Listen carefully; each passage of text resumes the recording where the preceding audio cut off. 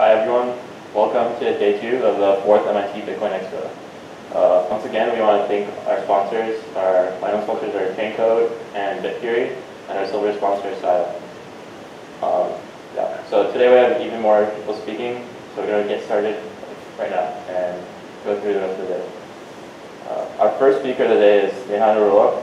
Neha is currently a research director at the MIT Digital Currency Initiative, the DCI, where she teaches courses and leads cryptocurrency and blockchain research.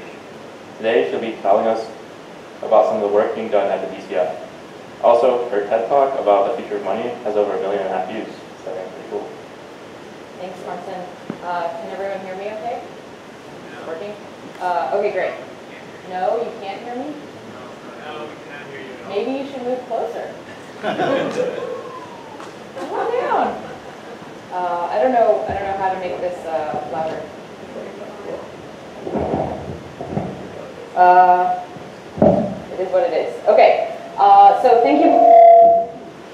Thank you, Marcin. Um, so I'm Neha, I lead the DCI. Uh, this is a group at the MIT Media Lab, which was founded in 2015 and is focused on digital currencies, cryptocurrencies, and blockchain research. And what I'm going to talk about today is who we are and what we've been doing for the last 12 months.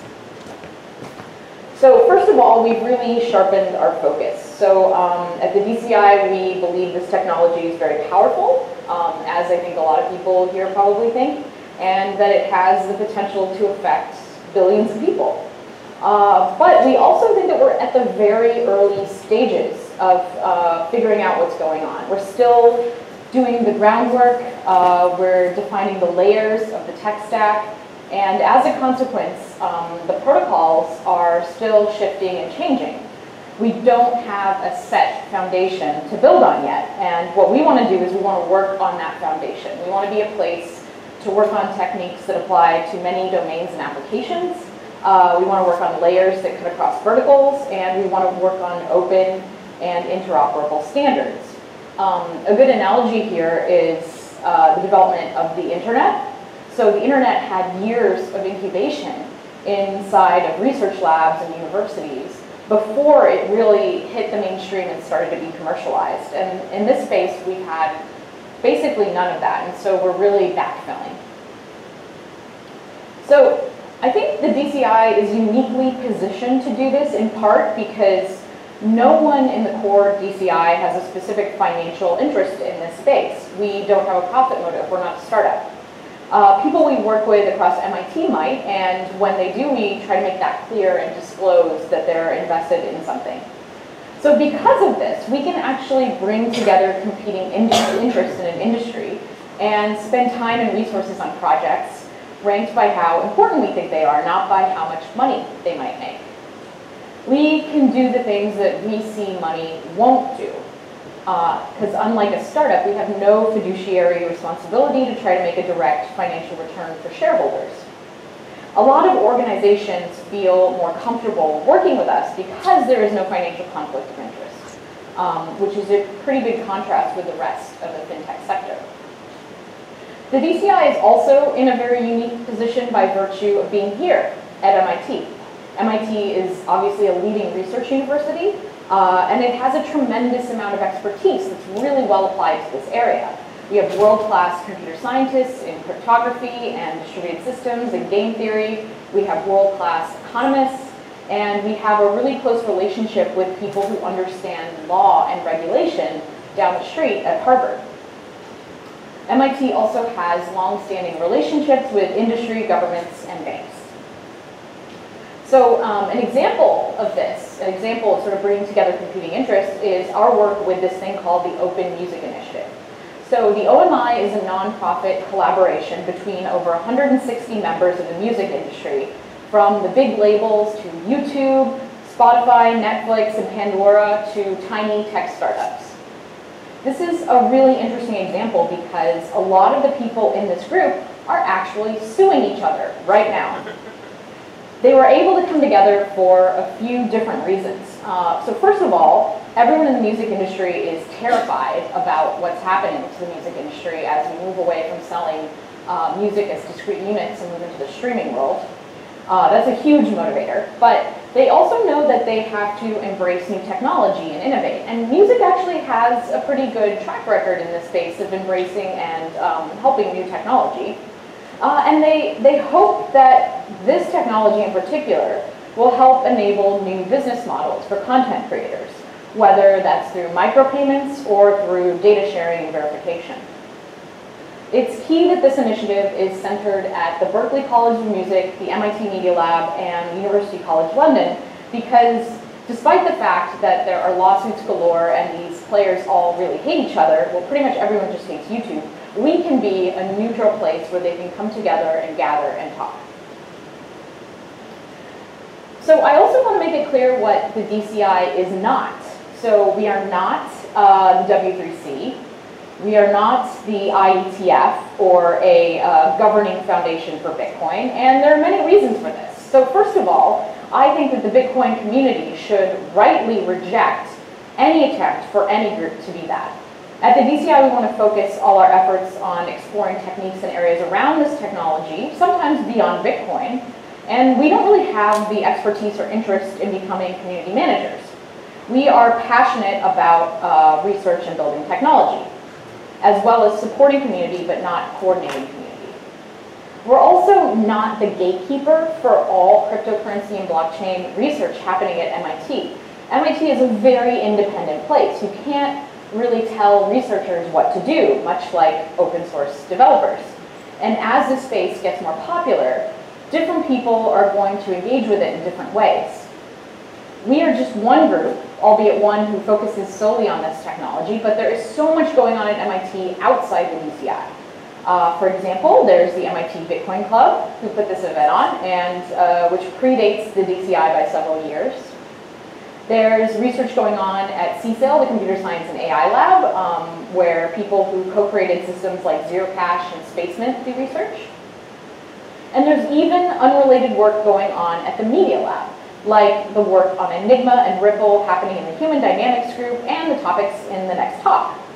People are going to do whatever research they want. Uh, this is one of the major perks of being in research because it is definitely not money, it's independence. And overall, this is good, even if we really disagree with each other's research directions. I do the kind of research that I believe in, and I encourage others to do the same.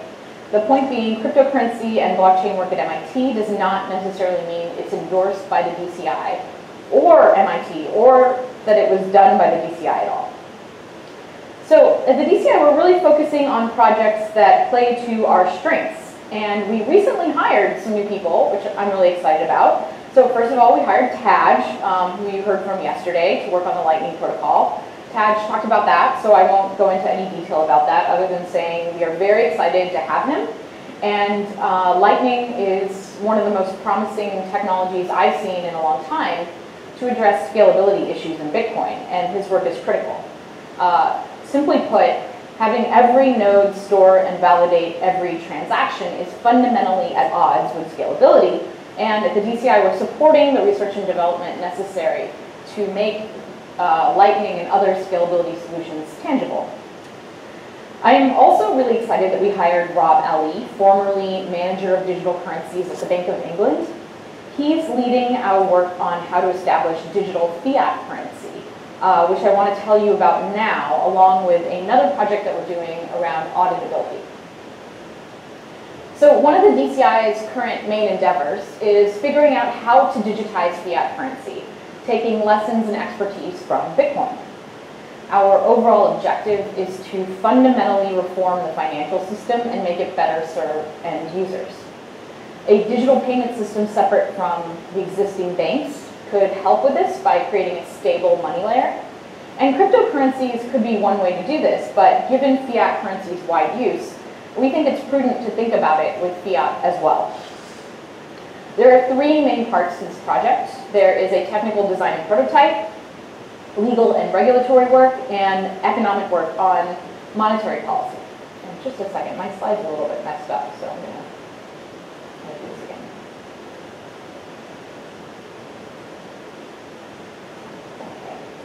Um, great. So this is all extremely preliminary, but I want to share a little bit of our thinking on the technical design. So of utmost importance is security and resiliency. So Bitcoin has shown us a dramatically new model for how to secure widely accessed systems. What we're thinking about is not exactly Bitcoin, but it is structurally quite different than existing payment systems. We also think that it's important to keep the money layer very, very simple. We want to provide a layer that we can innovate on top of later. And we want this layer to be as open as possible, uh, accessible to those who are currently excluded from our existing financial system, and to be an open platform for others to build on. But at the same time, we know that we have to work with regulators to help them achieve their policy goals. And reconciling this tension is very challenging. We're already working with other universities on this, like the Berkman Klein Center at Harvard for the regulatory work, and we would welcome working with others. And of course, the topic of money is core to central banks. Some central banks are already researching this topic and have said so publicly, like the Bank of England, the ECB, the People's Bank of China. Our project could overlap with these interests, and we're very interested in working with central banks, and we think we're well situated to do so. This tension between privacy, openness, and regulation actually comes up in a lot of different areas. Regulation is important. It's the way we enact policy. Uh, companies have a responsibility to comply with regulation, and in order to show that they are doing so, they are audited. Most of auditing is handled by one of the big four accounting firms. Together, they audit over 80% of all US companies, and they do so generally by opening up the books of those companies and really examining and seeing what's going on at a very detailed level. So the big four are Deloitte, KPMG, Ernst & Young, and Price Waterhouse Coopers. Now, you might remember Price Waterhouse Coopers because sometimes these auditors get things really, really wrong, right? So these two people, their only job was to hand out envelopes at the Oscars, right? Um, so I don't know how many of you actually watched the Oscars, uh, but they at the very end they announced that this movie had won Best Movie when really it was supposed to be this movie. um, and it was because some people had shuffled around some envelopes. The auditors actually had screwed up and had not passed the right envelope to the right person. So auditability and regulation are quite important, but so is privacy. We, and what we wanted to do was we wanted to see if we could provide some auditability while still keeping details private. So I want to tell you about another piece of early stage research that um, I've been doing in collaboration with Madars, Virza, and Willie Vasquez, and this is about auditing a shared permission ledger. So this is nowhere near ready for deployment or even a paper, but um, I wanted to talk about a few details today and hopefully get some input on interesting use cases for this. So imagine that we had a set of n participants all executing transactions on a shared ledger. You know, for example, you can imagine a set of banks who are using a ledger to settle security trades. Um, we want to understand global properties about this system as a whole while still keeping individual transactions private between the parties that are actually engaged in the transaction.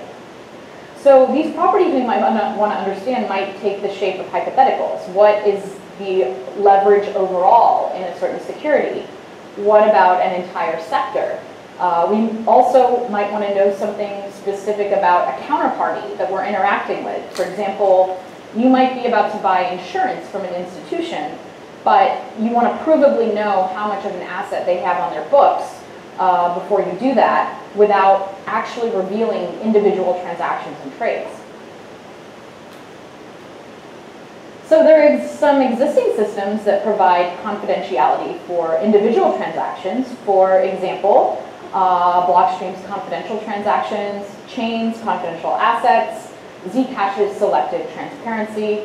But unfortunately, these systems uh, have very limited support for more general broad auditing queries. And so in order to do auditing on these systems, you still have to open up all of these individual transactions to a third-party auditor. In addition, there's no way to, for a party to prove that they unveiled all of the relevant transactions that should be part of computing the answer to a query. Um, you can't prove that you don't know something. Now, this is the part where someone tells me that this was all done in a Bitcoin talk post in 2013. I'm sure, that's great, send me the link and uh, we can talk about it more. So the way that we thought about accomplishing this is by carefully encrypting transactions on the ledger, but also including commitments to trades, uh, specifically with randomness. These commitments can then be homomorphically combined, and a third party can query the uh, participants, and the participants can provide an answer along with the combined randomness to show that their answer is consistent with the commitments on the ledger. Um, so this is a little bit complex, and I wanted to kind of go through a very simple example. So here's, uh, here's a toy example of computing an aggregate. Uh, let's roughly share how this works. So imagine that you have a set of banks, N banks, and they are um, using a settlement ledger for a single asset, some security, though we support multiple assets. And it looks something like this. The bank's uh, transactions are stored, um, they are encrypted uh, on a ledger, and so you can't even tell which banks were involved in which transactions. Um, and then they also store on the side these public commitments, but the commitments don't actually reveal anything about the trades. In addition, we have a third party, like an auditor, and what happens here is the auditor can send the banks a query, and the banks can respond with an answer, a cumulative answer to the query. So they're not revealing data about individual transactions here, they're revealing something in aggregate. Um, the auditor doesn't trust this query, but the banks also send along some extra information that the auditor can use to confirm the answer is consistent with the ledger. So the auditor looks at the ledger, um, looks at these commitments, and uh, checks consistency uh, and only is satisfied with the answer if the answer plus the randomnesses match the consistency, uh, match the commitments on the ledger. So this requires the cooperation of the banks, but you can detect if they are lying. We think that this really, so what we've come up with so far only really makes sense in a permission system where you can, uh, you know, regulate or, or send to jail people who are not complying properly. Um, and the auditor should also constantly be doing other types of consistency checks on uh, every transaction. For example, there's zero knowledge proofs to make sure that assets haven't been created out of nowhere um, and that all of the transfers actually make sense. So this work can be extended uh, beyond aggregates. We can do ratios. For example, what percentage of my exposure is in asset Y. We can do approximations. So what is the approximate order of magnitude of my trades without revealing the precise number? And uh, other similar things. And for those of you who know something about regulation, we can also um, measure well-known financial risk formulas like the Herfindahl index or eigenvector centrality, though some of these more complex formulas require revealing a little bit more information. So what's really interesting about this is that in many cases, the digital record of who owns what is the actual asset. And what I mean by that is that a ledger doesn't just track trades that are happening somewhere else, it is the real world account of who owns what. If you own something on the ledger, then it means that you actually own that digital asset. For example, uh, you know, in Bitcoin. Um, in these cases, this auditing really makes sense because participants can't lie about ownership. What it says on the ledger and the commitments they make to the ledger are the actual ownership of the asset, uh, and the auditing reflects reality. But we'd love to hear about ideas for more use cases. So please come talk to us or send us email if you find this interesting. Last but not least, I wanted to share information about a class that I'm teaching this semester with Silvio Micali. He's an awesome professor in uh, the Electrical Engineering and Computer Science department here at MIT. The class is called uh, Shared Public Ledgers, Cryptocurrencies, Blockchains, and Other Marvels. We're doing something a little bit different in this class. We're not just explaining how open permissionless ledgers like Bitcoin work, but we're really trying to get at why the existing ones work the way they do and what the hard problems really are. Um, what are the design goals? What are the various trade-offs that people can make and why have they made those trade-offs?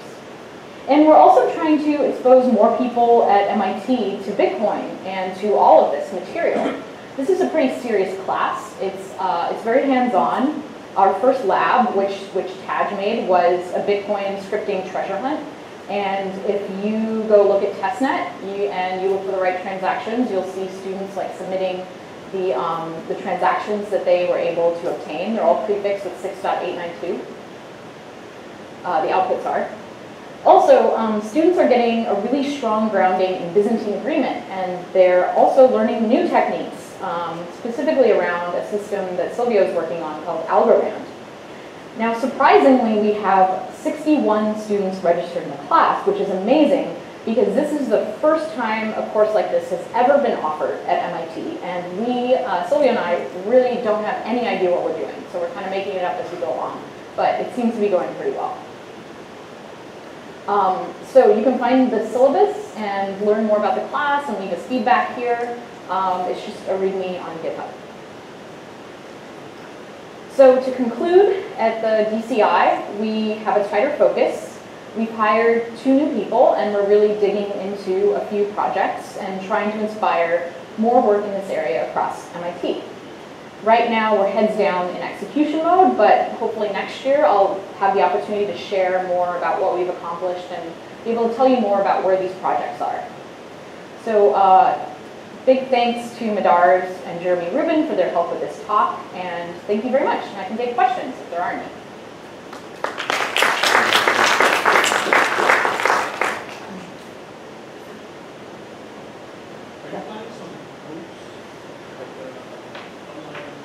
Yeah, so the question was, are we planning any MOOCs? Um, no, not, I, I'm, I'm not planning any MOOCs at the moment, though I know that there are other people at MIT who teach more business student-oriented level classes that have created a MOOC. It's called the Future of Commerce. Um, it's something that we'll think about, but I think we really don't know what we're doing with this class yet. It's the first time we're teaching it, so we're not really ready for a MOOC. And there's already a really good MOOC if you, if you want to learn Bitcoin that was done by uh, a professor at Princeton and is on Coursera.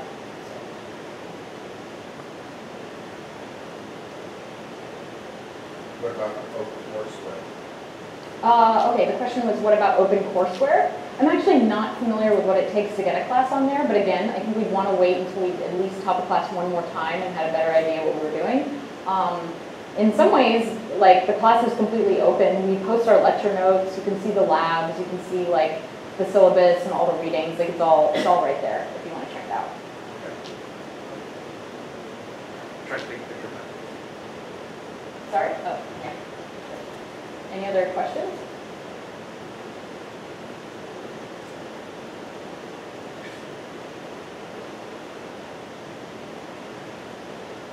Okay, thank you.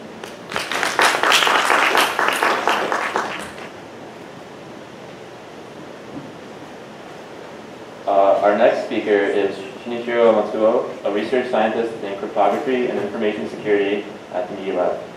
Is involved with research at multiple universities and is on the editorial team for Ledger, the first academic blockchain journal. Uh, together with Sundar Wang, he is starting the BSafe network to promote applied academic research in blockchain technology, which is the topic of this talk.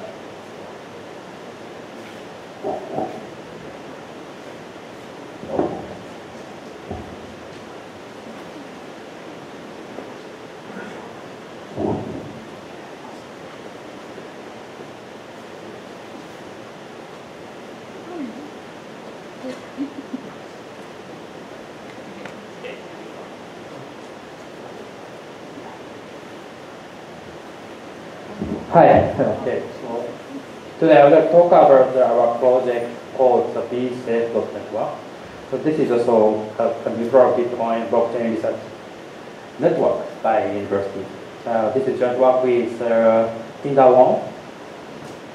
And yesterday, sir, update that uh, this MIT Bitcoin Expo. So Tinda Wong gave that uh, interesting and good talk about how we how to make that uh, Bitcoin development process more healthy.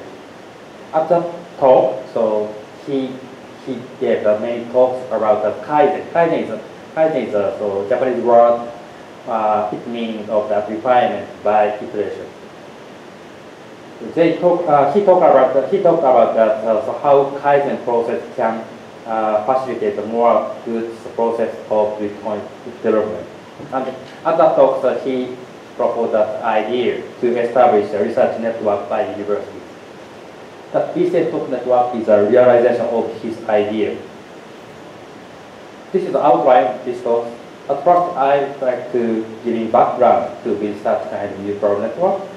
Then uh, I talk about the, so what BSafe network is, um, including the current status and the research activities in last year and the research, uh, potential research project. And finally, so I'd like to talk about the future direction of this project. So this is a figure which shows that traditional uh, two directions of that uh, way to make some technology mature enough for social fundamental. One is uh, so bottom line that there are four phases. At first, so universities or so research scientists do experiment for some technologies that after that technology confirmed that scientists, it, that technology can be commercialized. And after that, so some companies doing doing uh, business or creating new applications, creating new ecosystem about that commercialized technology. This is also traditional sense of the maturity.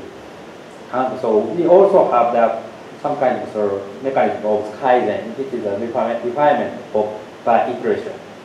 Uh, some so open source activities or so lean startup or okay, so very fast manner of the development is a one good example of the refinement of iteration Kaizen. Okay, I'm a research scientist in information security and cryptography. So I have so three fundamental questions about the security of the blockchain technology uh, uh, in terms of the maturity of that technology.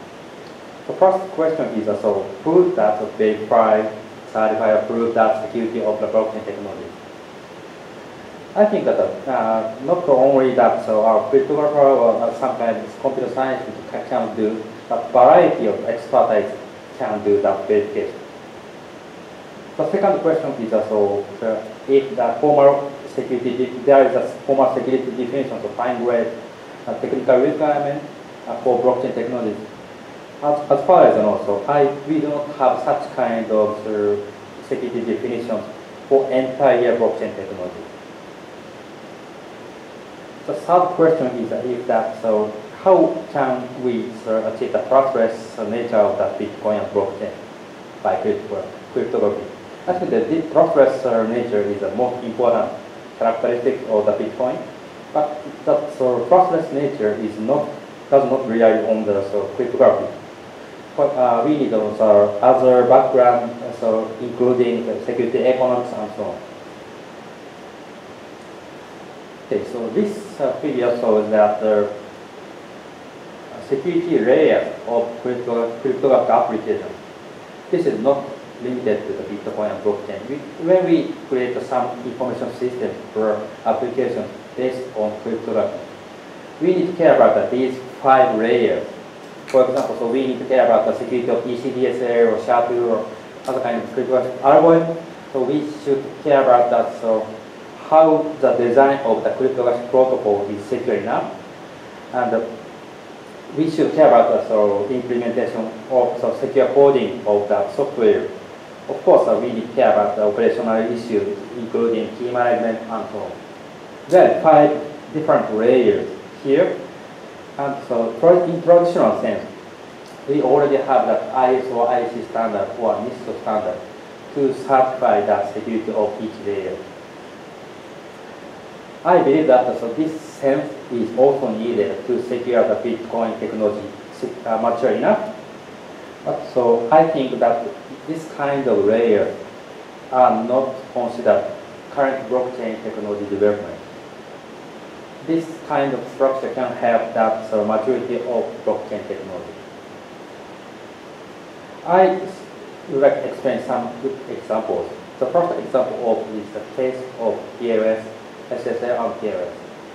Uh, so, so news was that so that early stage of that development of the, these, these technologies uh, uh, is uh, without precision engineering. We okay we found so we had uh, so many bad news, including attacks or vulnerabilities after 2011, including halfway, Kudo, quake, blah blah blah, and so on. The, uh, the main problem was so we had no security proof for SSL and PS protocol in the early stage of that development. We had no procedure for verification of that security in IETF. And there are um, no uh, sufficient experts on verification of crypto- cryptographic protocol in the community. And uh, of course, uh, there uh, is not su- sufficient quality assurance in after the Open, OpenSSL project. We also encountered uh, another uh, case of the, the DAO. As you know, that the DAO issues uh, had that we had a chance to lose uh, 50 dollars by this attack, and uh, this uh, problem was caused by the vulnerability of the code. And the bad news is uh, so I think that we don't at, this time we don't have the way of the workaround. So the, the so essential problem of the case of the DAO is the same as the SSL TLS. And uh, we also don't, do not have the vulnerability handling mechanisms and proc- procedure for workaround. And, uh, and a huge problem, uh, more complicated problem than existing security mechanism is uh, in the case of the DAO or the blockchain or Bitcoin, the information is the money. And uh, so that's, uh, this technology is over investment, in- invested, and uh, so it's the intersection of the technology and financial incentive. When we so design a information system, we should care about the, the five, five characteristics, uh, and we should care about the, trade-off uh, among these five characteristics, including privacy, security, privacy, performance scalability, operational cost, and usability. This is the general thing for designing information system, and we should care, we should find that good balance among these five uh, characteristics. But in the case of blockchain and Bitcoin, we should care about uh, so how decentralized. It means that uh, how what kind what kind of trust model we uh, we also apply to that uh, information system. And uh, I, uh, this uh, indicates that so we have more complex uh, we, should solve more complex problem than all uh, existing information systems, including so we, can, we should care about the, uh, the trust model of that system. And so we have the four major technological issues in the current blockchain technology. Upper two, so blue box are the uh, uh, existing so problem are only so there so for that uh, general information system. But the bottom two red box, two red box boxes indicate that so new problem caused by blockchain technology. It, so one is a trade-off between the performance scalability issue and the decentralization manner, and the other is, is a finality and immutability issue. Okay, so as uh, so Nehal told in the previous uh, talk, in, so in the case of that development of the internet, so the internet technology was commercialized in 1995. But so before that, so we had uh, over 25 years development history to make that communication technology enough for other social fundamental. Uh, we have the 10 years uh, research, uh, experiment over research network founded by NSF. This is called by called as NSFNet. And uh, in parallel, we had uh, another uh, movement of that BSD to develop that Unix system and communication system uh, aligned to the internet. The so up, upper arrows uh, so represented uh, represented existing so traditional sense of the maturity of technology, and the bottom of the BSD uh, movement represented the Kaizen style of the uh, maturity. And uh, in the case of the internet technology development, yeah, so the lucky thing is that so we have so good steps of the development. uh, from the research, implementation, standardization, and the uh, business commercialization. But uh, in the case of Bitcoin, the bad news was, uh, okay, so Satoshi, was, Satoshi's paper was published in 2008. After that, so we have a reference, reference code, and so many startups started uh, their uh, businesses using that kind of reference code. But so there was no uh, activities like standardization or research by university. I think that so we need to combine that so uh, traditional style of the uh, activity to to make that technology mature to that the Kaizen style of development. So this is the reason why so we started the project uh, BSafe.network project. So this is also this acts the same role as NSF for blockchain technology. This is a neutral, stable, and sustainable research test network for blockchain technology by international universities. So the talk, was, talk by David yesterday is uh, we had a good uh, learning about about that, about the full node and so the good news is that we have many full nodes in universities. And, uh, and uh, that project was uh, started uh, last March and the first announcement was uh, held last uh, Bitcoin Expo I told before. And each university become a so blockchain node, full node. And so we will conduct research on blockchain and its application over this uh, test. I will explain that so why we set the name of BSafe. Basically, the idea is uh, this is a safety net for Bitcoin and blockchain. Uh, it is a platform Anshin. Anshin is a word for uh, word in Japanese or Chinese, which represents the peace of mind. Uh, this means that academia activities can provide the blockchain ecosystem for peace of mind. And uh, the, I, so we have uh, another hidden meaning of the BSafe. BSafe is the name of the product provided by RSA Security. This is a cryptographic library. And uh, we had one bad news uh, several, several years ago, and uh, some so backdoor was uh, there in, inside the library. This is uh, related to some kind of NSA thing in the uh, pseudo number generator function. We should avoid such kind of the accusation of backdoor. We can verify the security of correctness by wide range of expertise by university. This is also a message of the of peace. Okay, so the university is a good place for experimentation and so this is a place for neutrality, uh, diversity, and this is a place for place of international collaboration. And uh, I don't know the exact number of the university in the world, but so I think that we have uh, over 15,000 universities in the world, and so we can scale that the project easily.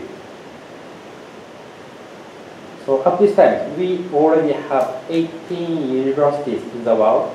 So in, so in so United States, we have node in MIT and Boston University, and uh, we have uh, node in Canada, European country, Asia, and the good news is, news, good news is uh, we have new um, first node in Africa yesterday, in Ghana.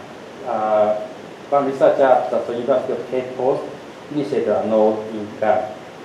And we are now reaching to the South America, and we will have more universities in the United States, Europe, and Asia in the near future. The main activity of the BSafe network is uh, so con conducting inter international joint research over this uh, actual research network and uh, doing experiment of the theoretical research results, for example, including the, so executing TumbleBits or maybe we go over that uh, BSafe network is a good idea to good, uh, to do the open experiment by so international university researchers. And we can evaluate the technology and uh, it can be the place for competition technology. It can be a base for the future innovation, Kaizen style innovation. Last year, so we, the BSafe network project was in prototype phase. We have first seen node in at University in Japan. But we uh, added university from Asia, and United States, I told before. And the first research project was evaluating and attacking Bitcoin plus segregated witness. So I would like to uh, introduce three potential research projects over BSafe network. The first is the sensor, net, network and blockchain. So this is a collaboration with the Safecast project. In the Safecast project, uh, so we have the uh, large number of the uh, sensor networks which collect the radiation data or environmental data and so on. So we can collect the radiation data from global scale, scale, scale sensor network. And so we can give provenance to the radiation data with time and location by using blockchain technology. And we can share the data over blockchain to facilitate making new ecosystem by someone. The second project is uh, facilitate digital fabrication. So over blockchain, so we manage the code of uh, digital fabrication, for, for example, 3D printer and so on, and the product uh, of that uh, digital fabrication ecosystem. So after that, so we attach the RFID tag the product uh, produced by 3D printer and so on, and we can facilitate both press and trading of product using Bitcoin or digital currency and blockchain technology. For provenance trading and payment can be covered by blockchain technology. The third one is a new financial architecture. This is a research regarding the technology and regulation of the financial system. Uh, so the potential topics is uh, the technology risks for consumer financial system protection and rethinking the privacy protection, press and AML and blockchain-wise finality and regulation. And the last is a common code-oriented financial architecture and regulation. We can form that multilateral uh, collaboration and multinational collaboration over this test bed. This is a good, good place to, to experiment. So the one more and important activities over BSafe network is education. Of course, the, the, the role of university is uh, education. We have the two goals for the educational pro, uh, project. The first is uh, become a sand, becoming the sandbox for future top level core developers and researchers. This, this kind of uh, pro program can be done through a research project over BSafe.network. And the second goal is education for undergrad to expand the potential engineer of blockchain technology. So last year, I think that last year uh, of the, the Bitcoin, uh, MIT Bitcoin Expo, there was a, a presentation, for, of the blockchain education network BEN. This is also grassroots and blockchain education project for students by student. We are now discussing with them to collaborate uh, with uh, provide to the provide some kind of educational program over BSafe network. So we also have that future collaboration uh, with existing activities like a bank or a blockchain core camp, which was held last month in Tokyo, Japan. Uh, this is also three days. This was a three days program to educate general engineers to become a uh, potential core developers. This is this activity to also make the so uh, make the potential Bitcoin engineer uh, large, large scale. And uh, we are now discussing with uh, the organizer of that, this, uh, this project, DataVerge, uh, to collaborate with, uh, to, to collaborate doing some kind of uh, educational program over BSafe network. This year, we are now adding more universities. Uh, we are now planning the Ready Farm. We are now uh, initiate some farm organization, including uh, uh, non-profit organization. We are now uh, collecting the more research projects, and we are now thinking about so collaboration with the developer community. I talked about this uh, that. And the future role of academia is also, so we have the six roles of the academia in this world. The first is a so neutral innovation platform for blockchain technology. Neutrality is the uh, most important nature of the university. And the second is a verify, it can verify the technology ecosystem uh, social and legal soundness, soundness is a needed thing to be verified by academia. Third is a, it can sometimes provide a warning for um, immature or bad technology. And academia can collaborate, uh, uh, give the, giving the, give the collaboration of diverse background, including the computer science, economics, so on and so on. And of course, it can be a platform of international networks I told before. I would like to introduce one interesting idea, so which was discussed at the sub-scale Bitcoin workshop in Milan. And this is called the BRR, Bitcoin Research Request. So in BRR, so developer issues are requested to academic community on the research uh, regarding fi- refinement.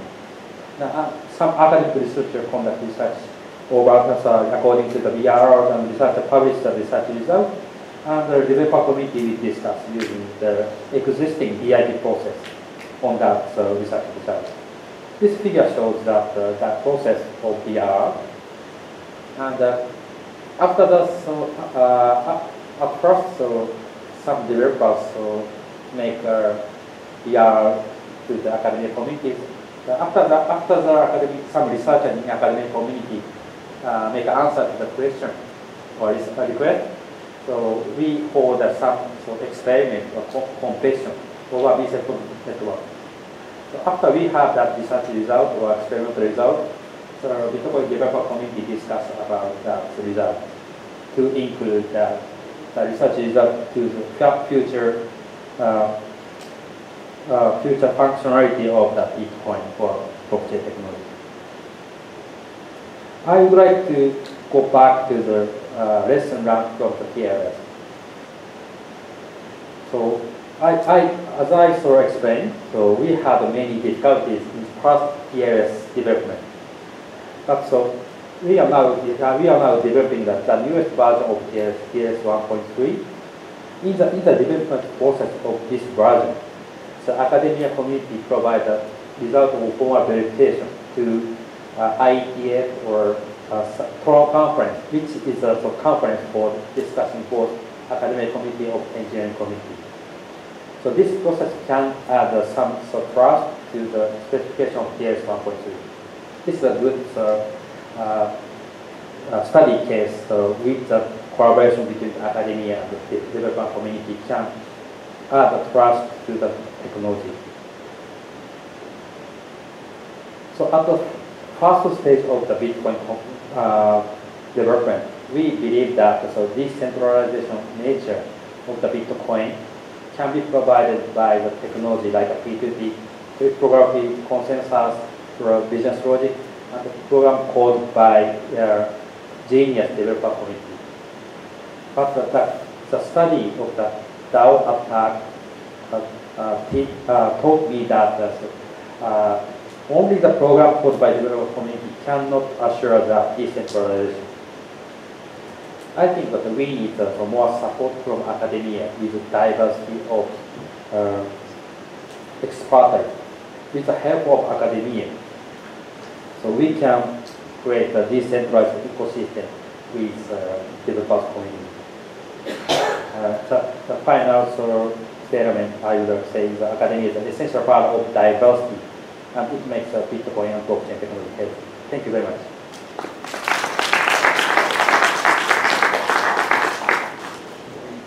Okay, uh, we're starting again now. Our next speaker is Ling Ren, a graduate student here at MIT. In the past, he's worked on efficient oblivious graph implementations and helped invent Onion ORAM. Today, he'll be talking about his new work on Solidus, an incentive-compatible permissionless Byzantine consensus protocol. Thanks.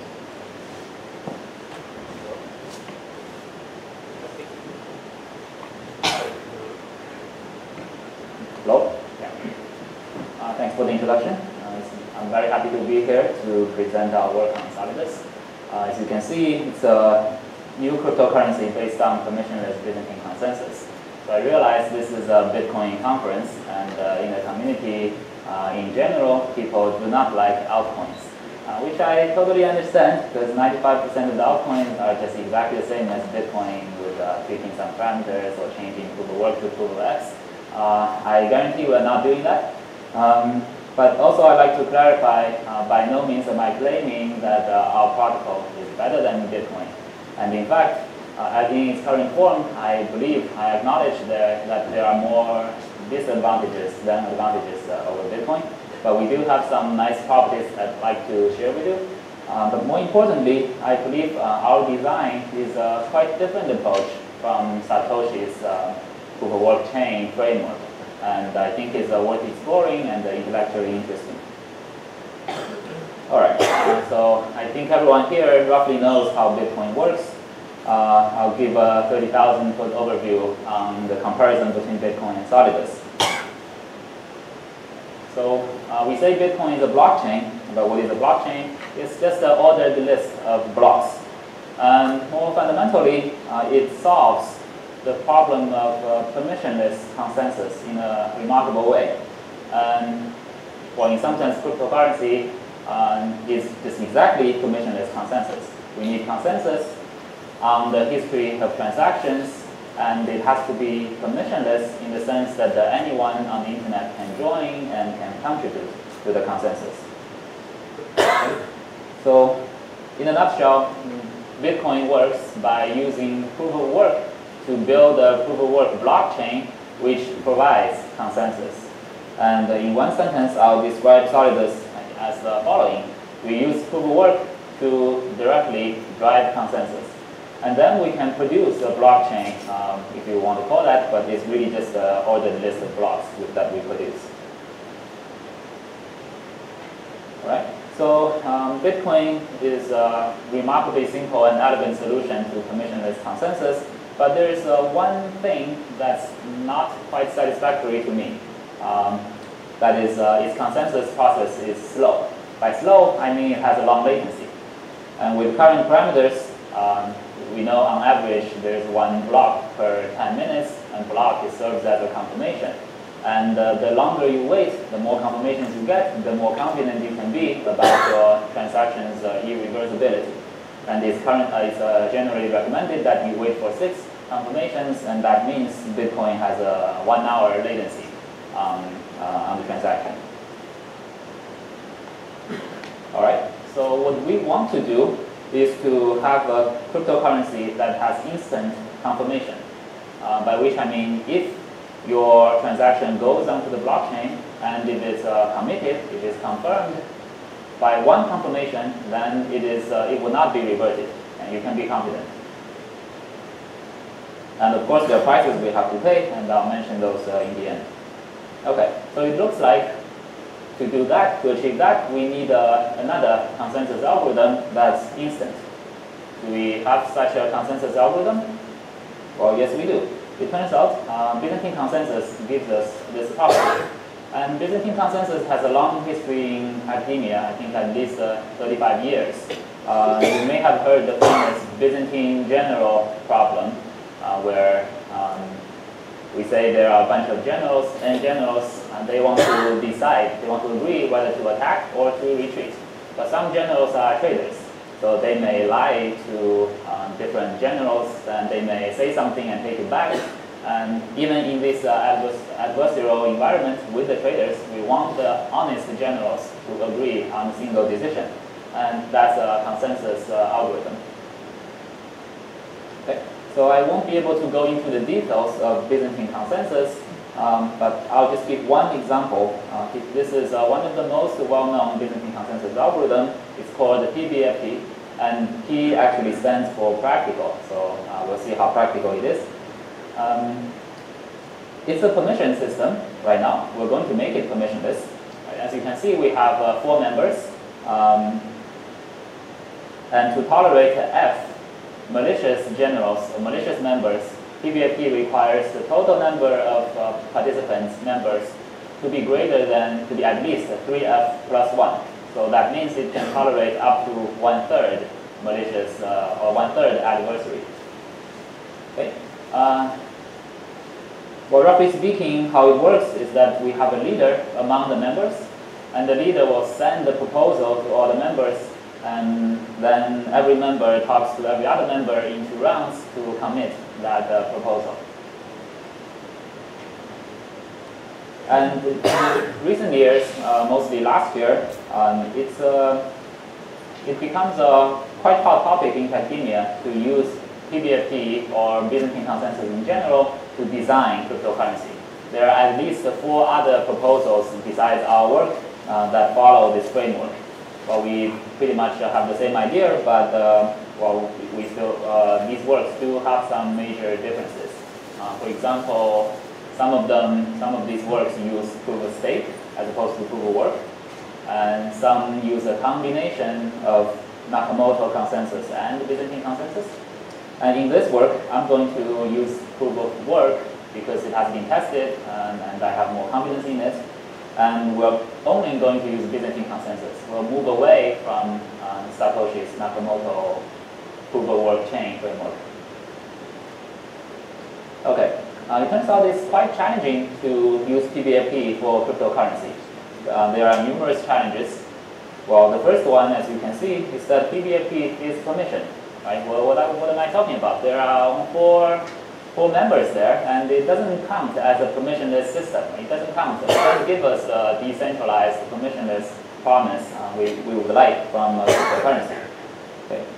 So in order to make PBFT permissionless, we need to do a procedure called reconfiguration, right? uh, by which I mean right now we have a fixed set of participants, and once in a while we should uh, move the committee.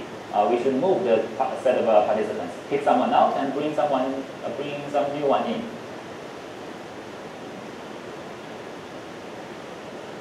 And uh, Concretely, what I mean is, is the following. Let, me, let me call the PBFT consensus group committee, and at any point, the current committee is responsible for running consensus and to approve transactions. And once in a while, we want to kick someone out and bring someone in. We can decide to kick out the oldest member on the committee, the one that has been on the committee for the longest time. But who do we want? Who do we want to bring in? And why do people want to join? Uh, for the latter question, we need to incentivize them, which means we need to reward them for being on the committee because they are doing a service for the community, so we should uh, reward them. Just, uh, just exactly the same in the exact same way that we reward miners for producing, for extending the chain. Okay, so for this purpose, we will borrow Bitcoin's ingenious idea of proof of work. We'll let the committee put out a puzzle a computational hard puzzle. And have all the miners in the world rush to solve that puzzle. Whoever solves it, it has a solution, or which we call proof of work, we will take that guy in.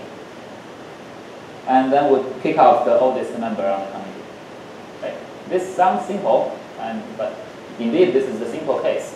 The harder case is that, let's say the new committee puts out another puzzle, uh, the green puzzle, and all the miners rush to solve it, what if there are two miners that solve it roughly at the same time? Could we bring, do we bring in now?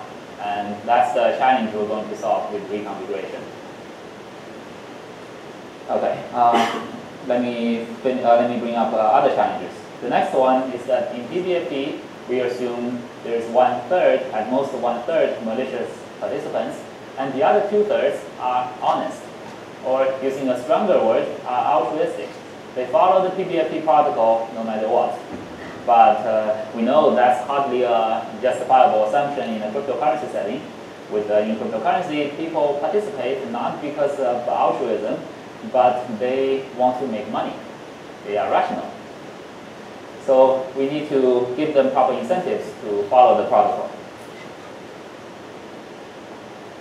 And our new framework introduces a new challenge uh, that doesn't exist in Bitcoin. Um, I'll call it the puzzle propagation. So like I mentioned, the committee puts out the puzzle, and we want all the miners in the, in the network to solve that puzzle. But we as the committee members, why would I tell that puzzle to anybody? I'd rather keep it to myself and, and work on it.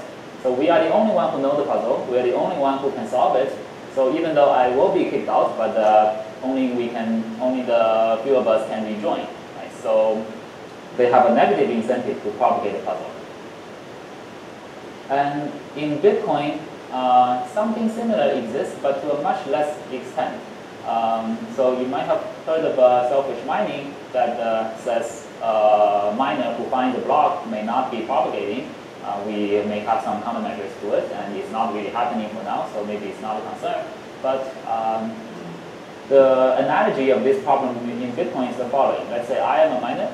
I extend the blockchain. I found a new block. I propagate to uh, to my neighbors, like this uh, uh, for three gentlemen and a lady at the ground floor. But why would they further propagate my block, right? When they pro propagate my block, I get money, they get nothing, and so they'd rather keep my block to themselves and work on it. They have a head start. And at that instant, for a very short time, they are the only ones who know the latest problem. Okay? But I say it's uh, to a much less extent because they can't get much advantage, so it looks like uh, Bitcoin is functioning well without that incentive. Okay, so that uh, there are other new, uh, there are some other challenges that I won't have time to go into, and, and that uh, gives us uh, the outline for the rest of my talk. So first, I'll describe how to make PBFT permissionless with reconfiguration. Then I'll describe uh, some of the solutions uh, and, and our incentive designs. I won't be able to cover every step. In particular, we need to incentivize committee members uh, to reconfigure, and we need to incentivize propagation. Okay, and lastly, uh, many of you might be wondering what Solidus means. And for now, I'll leave it uh, as a puzzle uh, for you to solve and the first person who solves the puzzle can get a coin. Okay, before diving into the protocol, uh, let me quickly uh, recap on proof of work. I know everyone knows, uh, knows proof of work, uh, but uh, I'll use slightly different notations and terminologies, so bear with me. Uh, so proof of work is basically solving a hard puzzle. And in the case of Bitcoin, and in, in, in our design, we use a random function, like a SHA-2 hash function. And there is a puzzle as one input, and we put some data and nonce as the other input as a miner. And we say we found a valid solution if, when we feed this into the uh, random function, the output is greater than some threshold. But I know Bitcoin and uh, every system right now defines valid solution to be less than the threshold. Um, but I'm going to define it to be greater than, than the threshold for my convenience, for reasons that will be clear later on. Okay, uh, so now the first the challenge, how we can make PBFT permissionless. Recap on the, uh, on the problem. There's a PBFT consensus group, it's permission, and we want to move the committee. The hard problem is that if two miners solve the puzzle roughly at the same time, uh, who do we take in? Uh, but let's not uh, worry about that yet. Let's look at the simple case. There's only, let's say there's only one miner who solves the puzzle. And how do we take, it, take him in and transition the committee? So what we'll do is let the newcomer, the miner, uh, act as an external leader. This is already a change to the PBFT protocol. PBFT says one of the members is a leader we will have an external leader that's not in the current, uh, not on the current committee yet. Okay, so the miner presents the proof of work, the solution to the puzzle to the committee, and showing that uh, it has a valid solution. And the committee members check if the solution is valid and meets the difficulty, and they respond to the miner saying, okay, you are our leader now, you are free to make a proposal. So what will the miner propose? Of course, he's going to propose, how about let me join the committee? And uh, the rest is the same as the PBFT. Everybody talks to everybody in two rounds. And at this point, the miner joins. And every honest member on the committee knows the blue miner joins the committee and the oldest one should leave at this point. Okay, and then we propagate that decision to the rest of the miners. And the decision that the blue miner joins serves as the next puzzle.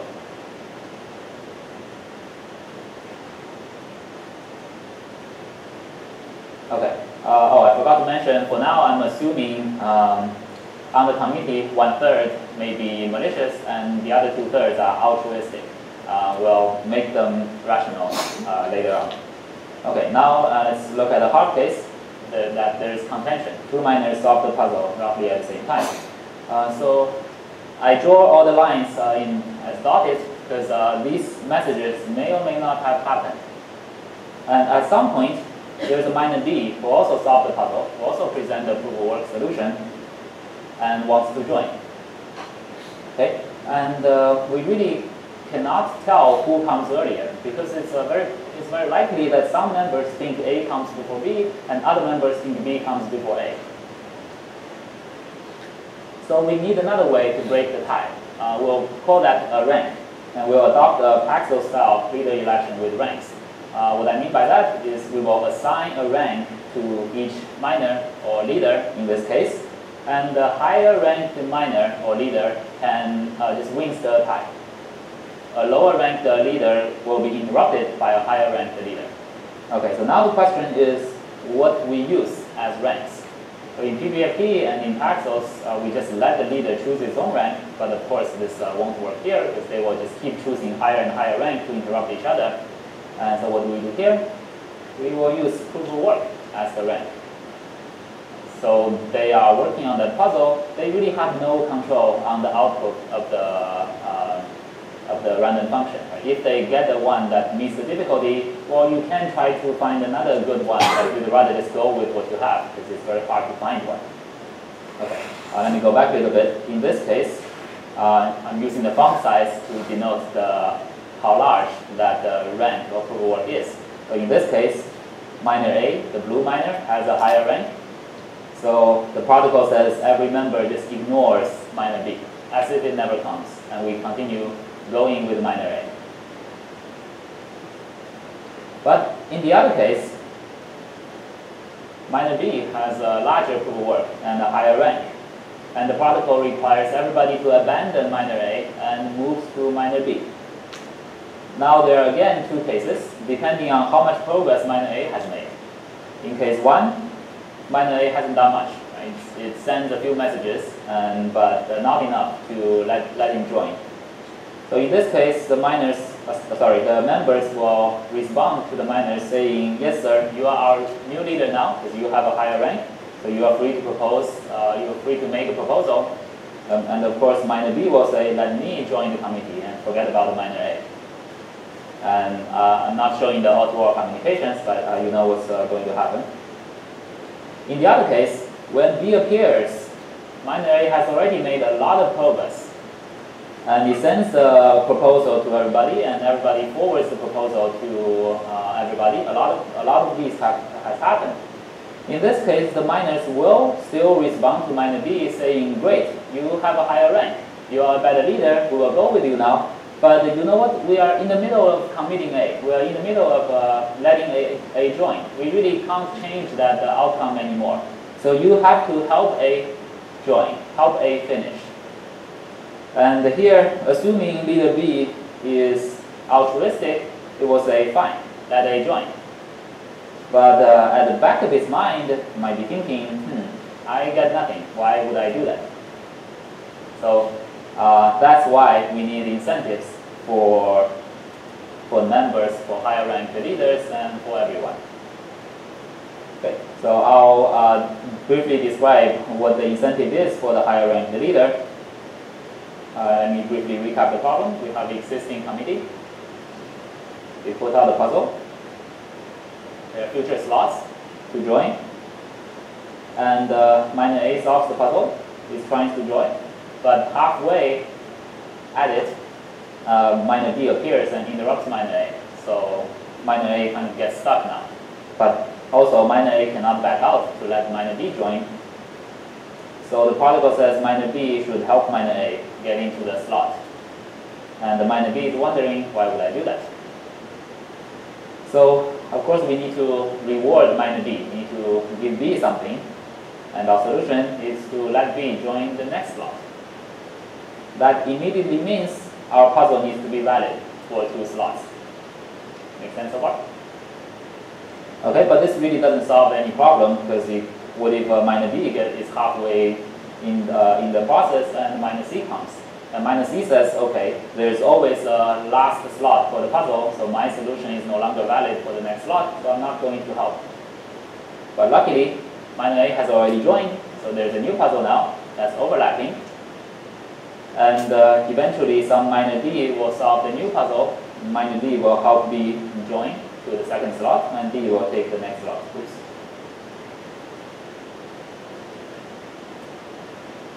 D will help B join the uh, take the second slot, and B it, D itself will take the third slot. All right, so that's uh, how we incentivize the higher ranked leader to help. And uh, not going into uh, other parts of the system. Like we do need to incentivize committee members to participate. Right now, they actually have a negative uh, incentive to participate because they are not willing to give up their seats. They'd rather stay on the committee forever. And also, we need to incentivize information propagation uh, for the puzzles and for the fee carrying transactions. Okay, so uh, to summarize, it's a, we use a consensus protocol uh, whose safety or uh, consensus feature follows from PBFT. We change, we modified PBFT, but not its core part. Uh, we modified what to use as rank and uh, uh, some incentive mechanism. And we still use proof of work to prevent Sybil attacks.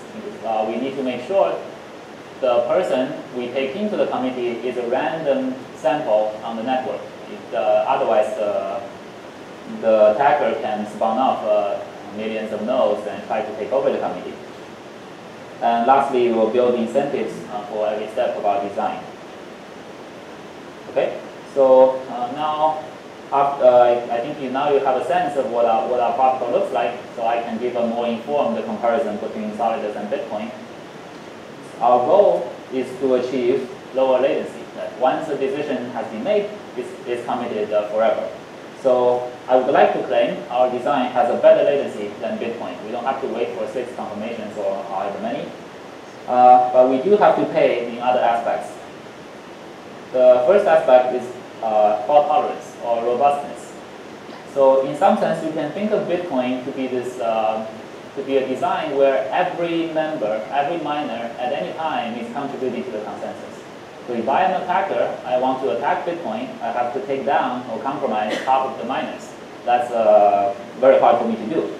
But what we did in Solidus essentially is to downsample that miner population into a committee and let the committee take control for a period of time.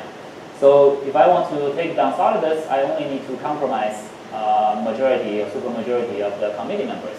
And uh, I'm currently thinking a committee size of uh, maybe 200, so that's uh, of course easier to attack than Bitcoin. Um, the other price we pay is complexity, and Byzantine consensus is very hard to reason about, very hard to get right. And uh, as you have already seen, we need to make it even more complex by building incentives uh, into it. Um, so um, yeah, as a comparison, Bitcoin really is an elegant and simple solution. I like it a lot. Okay, so the metrics we care about most is probably throughput. But unfortunately, I can't tell you uh, much about it because it's really an unknown uh, metric. Uh, the values are unknown for now. So Bitcoin has been around for eight years, but we still do not know its uh, throughput limit. Right now, it's one megabyte per 10 minutes, we know that. Um, but uh, well, there's this huge debate and uh, hundreds of proposals to scale up Bitcoin throughput and it's unclear what the limit is for Bitcoin throughput. And of course, Solidus is uh, a protocol right now uh, in my mind, and we haven't uh, built anything, so I can't give you a number. Hopefully, um, I'll have a better understanding next year. And oh, if you uh, you find it interested, if you want to work on it, uh, I'm happy to chat. All right. So last topic. Has anyone has anyone solved the puzzle? What Solidus means? Uh, You slash one of the, one of the committee members every time. a slash of the committee members? Uh, no, that's not what we meant. All right, so this is Solidus. It's a gold coin from the Byzantine Empire. And uh, well, the last year when I give this talk, I always end with the following joke. Uh, so you, maybe you can not see very clearly on the top right corner, uh, Solidus price right now is $1,400 per coin. You can buy it on Amazon online.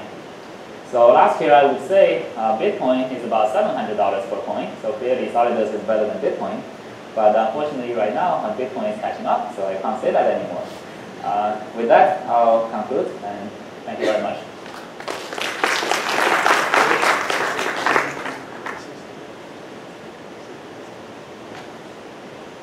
Any questions?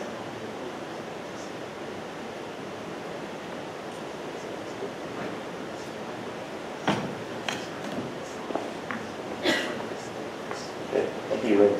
Uh, our next speaker is Anders Brownworth, the Chief Evangelist at Circle, where he's working on the Spark smart contract platform.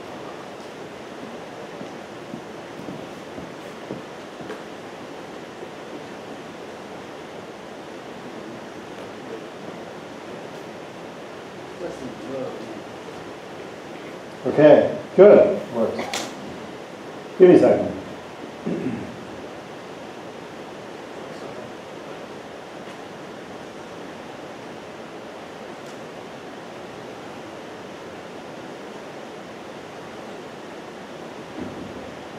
All right, here we go. Hello, MIT. I love it. I love being here. Um, let me, uh, let me start in my pocket. There we go. Okay, here we go. This is what we're going to do. This is my little to-do list. I'll tell you who I am. Uh, I'll tell you a little bit about Circle, if you don't know, which many of you I would imagine do. Uh, what are we doing here?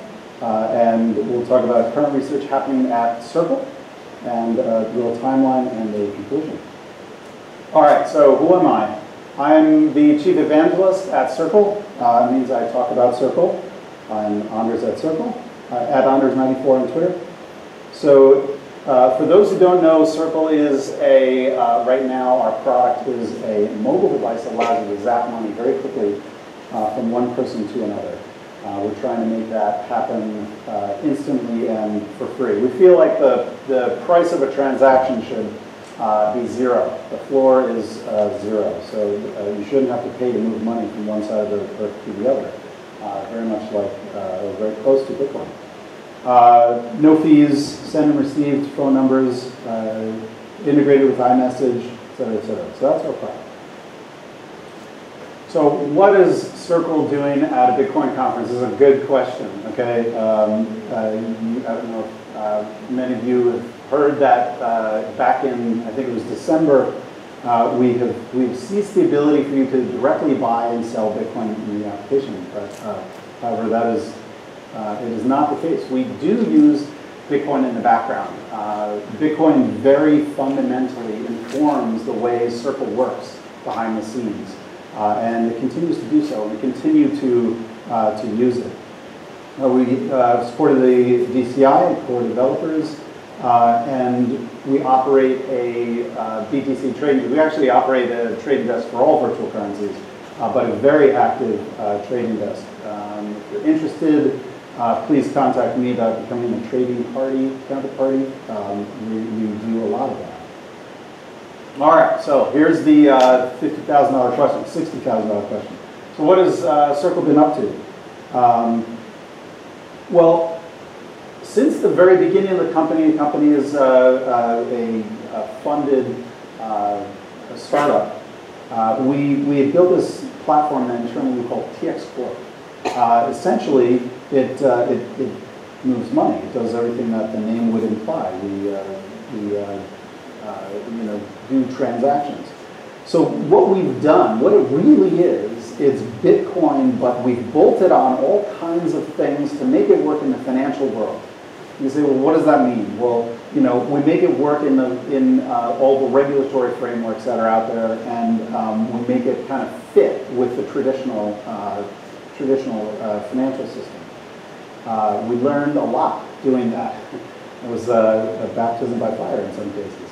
Uh, so we've been researching what we should do as our what we should do as our next step. We see a, a need for uh, financial institutions to be able to exchange value and associated metadata, lots of stuff, uh, in a cost-effective and a regulatory compliant way. It's not really a good way to say that. Um, what kind of metadata? I mean, you know, if you if you do a transaction, you know, what is it for? You you trade, uh, you know, thousand two hundred and however much, eighty bucks it is for a, a Bitcoin. Uh, then you could that could be part of the transaction too. You could say that it's this amount of USD for that amount of BTC.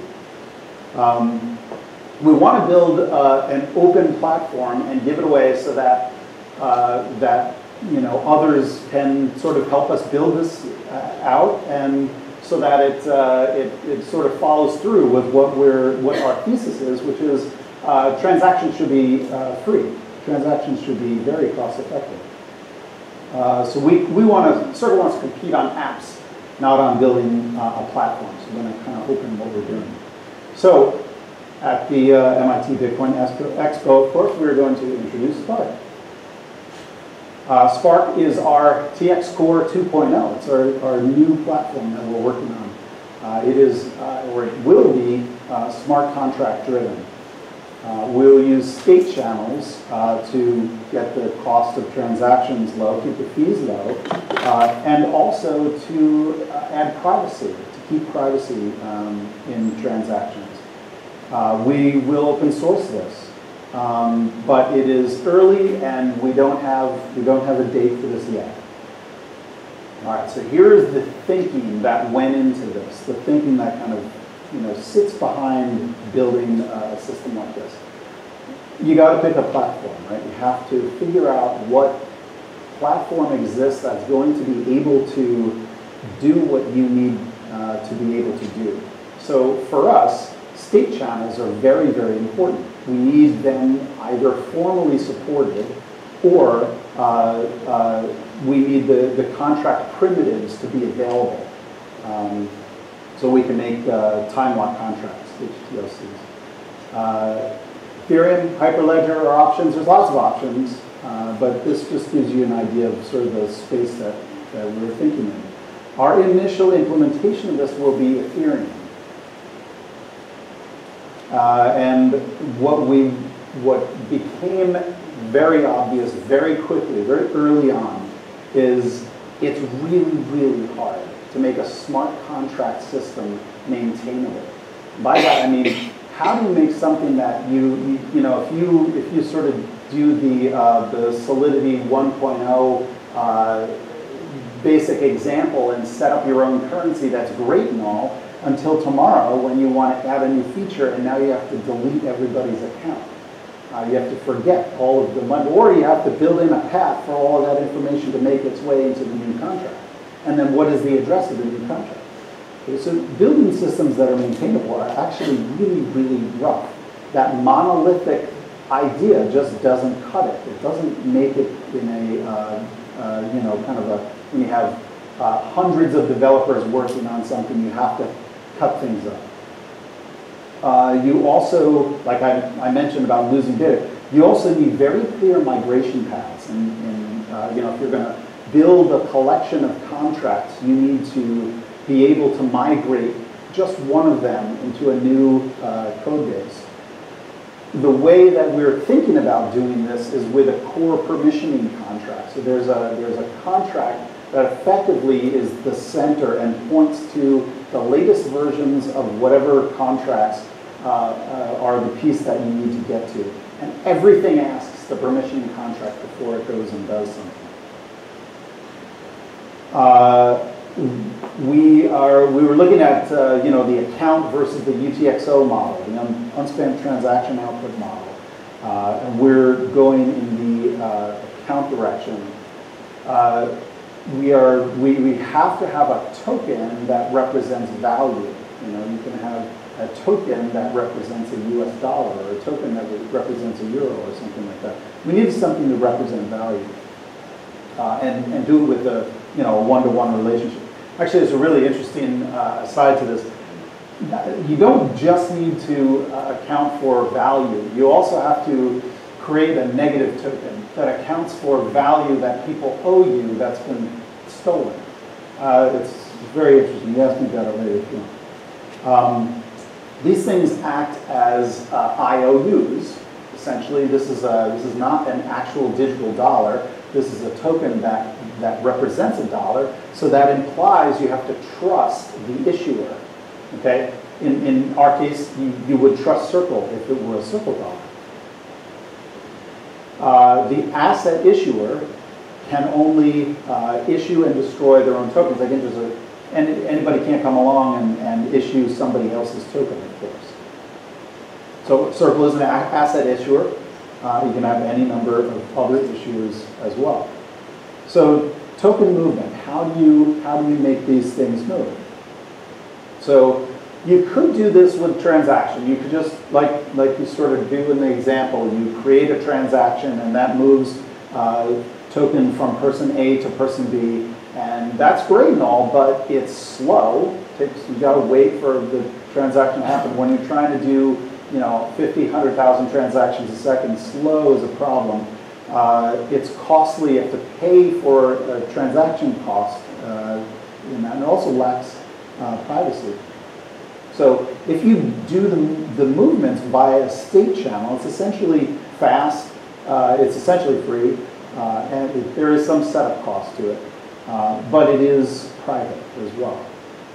So state channels, uh, accounts are going to open channels with central reserve uh, entities, sort of like Circle, uh, and then at least one side locks up funds so that, and, and of course, if one of those sides is an asset issue, it's not a big deal to lock up a, a ton of, you know, mint some money for that channel and lock a lot of it up.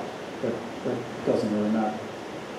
And then you do atomic swaps of assets that are countersigned just the way, uh, just the way, uh, you know, state channels work, uh, as, as you are probably aware.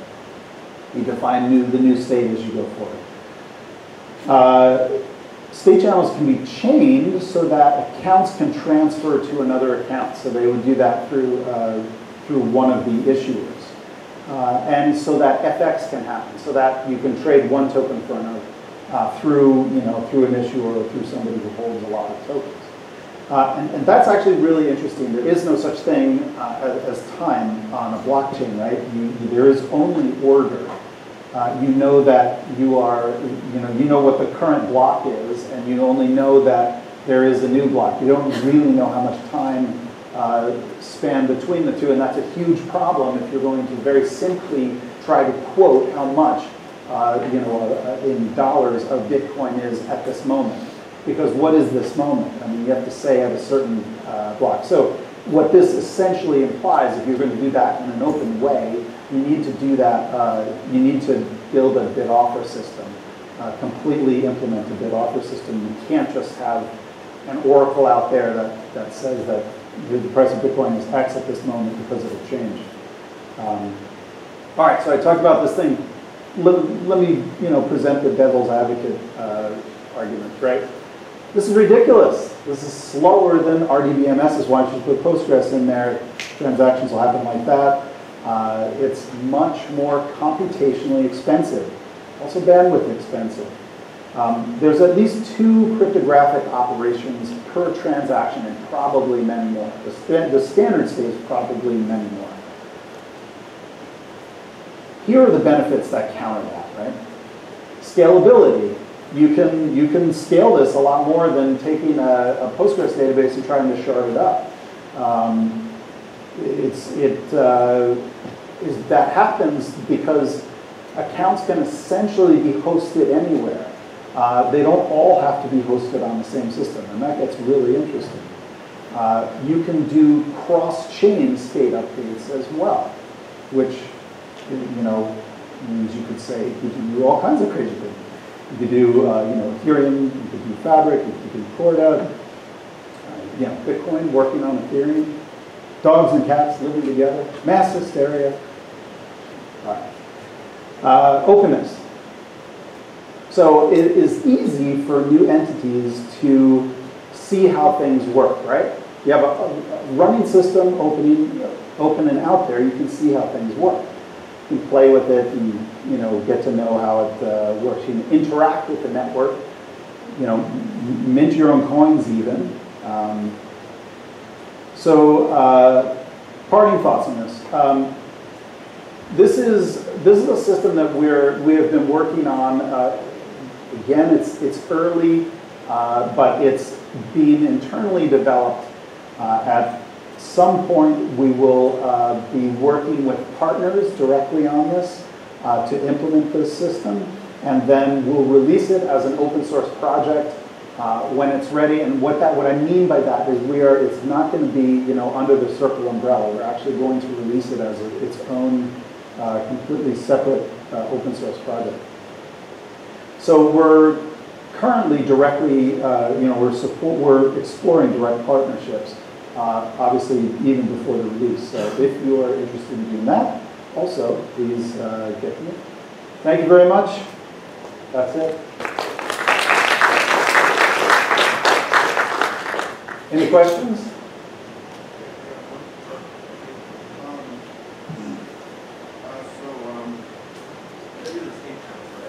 like, So state channels, what makes us want to use Ethereum first? so yeah. Sorry, uh, I lost the end of that.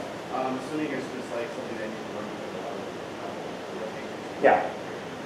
So, right, okay, so essentially what, why Ethereum, right? Okay, so uh, uh, there's, we could have done this a lot of different ways. We looked at many different, you know, options for technologies to implement this in. The, the, essentially what it comes down to is, uh, believe it or not, maturity at this point versus all of the others. I mean, you know, Hyperledger is, is, you know, really interesting, and Corda is, you know, they kind of, the, they're, say, everything that they're saying is great, but like, where does it, you know, where is the code base exactly right now? What can you actually do? Same is true with Hyperledger.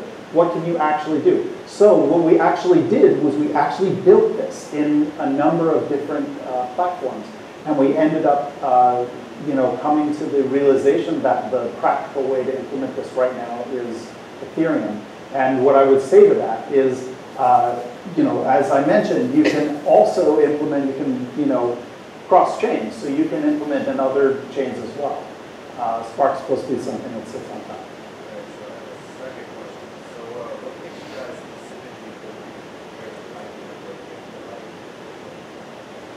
Uh, what makes us different from Lightning Network? I mean, so we're we're uh, very similar in the sense that you know it's state channels.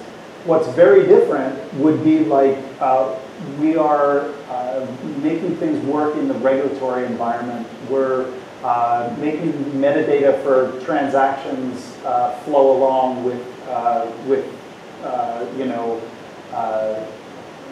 So so for example. There, the, the regulatory um, requirements that are there are there because uh, the different uh, agencies are trying to protect customers or trying to, they they have a very specific mandate. And they're, uh, they're trying to do something that, um, that had been set up in the sort of the pre-blockchain world, right? And they're doing it in a certain way. And they're essentially trying to fulfill a social good.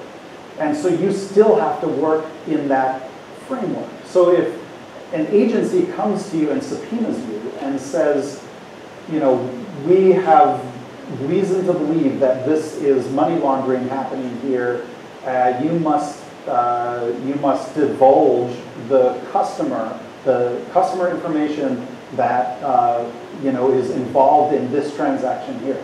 That's something that you have to you know handle. Now we don't want to do what you did in the past, which was everybody had a copy of every single customer. All the PII is all open for everyone. We want to make it flow in only the channels where it fits and, and make it only revealable by the entities that actually have the power to request that. So, you know, you got to work in that kind of a world. We don't want to just take what existed and bolt, you know, just bolt it on again. We want to do something appropriate and interesting that, uh, that exploits some of the new things that the technology allows us to do. I have one more question. Um, so, yeah, like, It's all good, Henry. Um, so, um, how do you actually choose which computer that processes this uh. How do we choose which computer processes transactions? So, uh, you just state how much of the machines are out there. Ah, I see. Yeah, so how do you guys choose which starts the channel and sends over to So how do we choose which computer or which, uh, you know, node uh, establishes a, uh, a channel? Uh, so that's done uh, opportunistically in a sense, right? So when a channel, there, there is a need for a channel between two parties uh, in order to move some asset and that channel doesn't appear, appear to be there, we go ahead and create it. So it's created opportunistically. It's part of the uh, permission. It says, has a lot to do with who proposes the transaction in the first place. I mean, you have to, you, it's a great question because you have to figure out that map. And there is a, there is a system there that actually, you know, does that. I, I, it's kind of a non-answer in a sense, I'm sorry.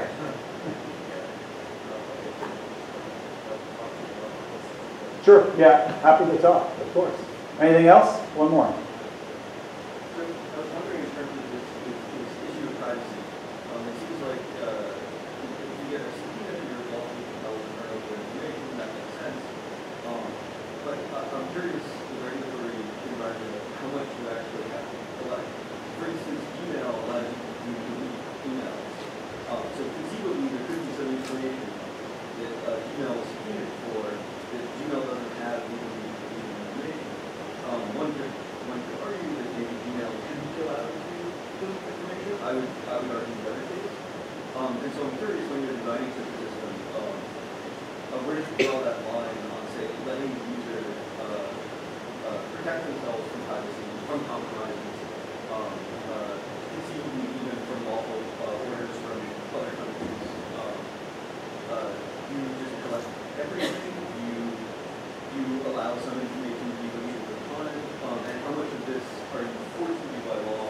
And how much of it are you doing to, uh, just, uh, be in? Sure. So, uh, so how much, so, uh, so how do we collect information and, and, you know, how is it used in the, uh, uh, you know, in the world and do we destroy information when we no longer have it? Okay, so we collect as little as necessary. To, to create an account, we collect as little as necessary. You know, you have to think we're, we're building a consumer product. Consumers, the, the, the first thing they don't, they don't want to do is sit there and fill out a giant form, especially on a mobile device. It's ridiculous. We want to take as, as little as, as possible. You know, try to keep it as, as uh, toned down so that we have a large funnel, right? You know, it, it would make sense. So instead of collecting every, everything up front, like you might do when establishing, oh, I don't know, a bank account, uh, we collect it when it's only when it's necessary, only when transaction volume reaches a certain size, or only when account values are in a certain place. So we try to cut that down initially to begin with. So we don't have to delete it if we don't have it in that case. Um, however, governments around the world, different state and federal, you know, sort of levels have requirements, and they all are operating because of some social mandate that's been put on them. They're not doing this for the fun of it. They don't want to do it, but they they are doing it uh, because it's uh, it's what we hire the government to do essentially. So. What we do in those areas is we, we collect the information when it's necessary, uh, which traditionally has been, you know, we, we collect it centrally. Um, we don't want to, uh, uh, you know, have to hang on to that forever. Uh, at some point, if, you know, the, the let's say uh, somebody were to, you know, close their account and, and go away after some amount of time, the government won't ever ask us for that anymore, and so we wouldn't, you know, we would destroy it then. Um, but the company is very young, and we haven't gotten there yet. So with, with, uh, what you're, uh, using, if you could allow Alice and Bob to, uh, like, go, they could be KYCs on both ends, Alice, KYC, and Bob, KYC. Um, but they could make payments without regulation, would that be a service you could offering? Yeah, so uh, if we have Alice and we have Bob, why do we, you know, do we have to, and and they're transferring back and forth, do both financial institutions have to know everything about Alice and everything about Bob? No, that's exactly one of the areas where we could do something really cool, right? We could have Alice uh, is here, Alice's information here, Bob's information is here, and you can get to one, uh, you know, to the other through the transaction. Right, that's exactly what we're talking about. So that kind of stuff is, you know, what we're contemplating, what we're doing. We don't have this all, you know, completely mapped out yet, though. So I, you know, I, I, I can't say this is exactly how we're doing it, but that's definitely one of the things that's on the table. uh, to do. Yeah, yes? Uh, A related question, um, in healthcare, which is where I work, you have licensed professionals. In in finance, you have lic- certain licensed professionals. In the regulatory environments that that you work in, how much can you rely on distributed professionals to meet the records retention requirements, rather than having any centralization in Circle or anywhere else at all? Uh, so, yeah, it's, it- it's, it's tough. The, the, the implication, like the, the, just the, the, the way that regulators would think about what you actually need is that you need to, you know, you have all the information here, you know? Um, so that's something that you have to work around. Can you, can you, um, you know, uh, trust a, another party to house some of that? I would argue that's not really better because now, now you're trusting, you have to trust everyone that the information went through because any one of them can copy it. Uh, and and you, you have a better chance if the, the one that you are working with directly and wants to continue a financial relationship with you uh, is essentially the one that has a continuing uh, uh, incentive to not release, not have your information get out. You know, you use that. Am I not talking over you? I, I was, you are, but I was, I didn't ask the, an important part of the question. In, in my world, the government, the state, in the U.S. runs registries, Yeah. which are entirely owned by the government. So they do not involve necessarily the hospital or the, the equivalent of the bank in maintaining a registry of who's uh, gotten a prescription for an opioid, for example.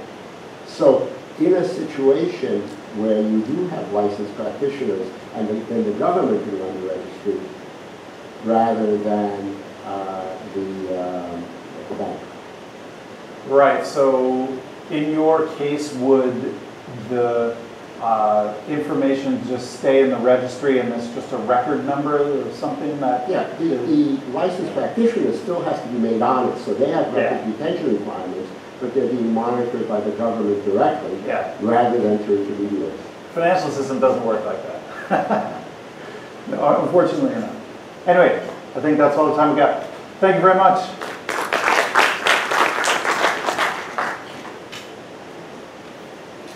Thanks, Anders, and thanks for the great questions from the audience. Um, Our next speaker is Sergio Lerner, the co-founder and chief scientist at RSK Labs, where he works on Rootstock, uh, the first smart contract platform with two-way peg to Bitcoin.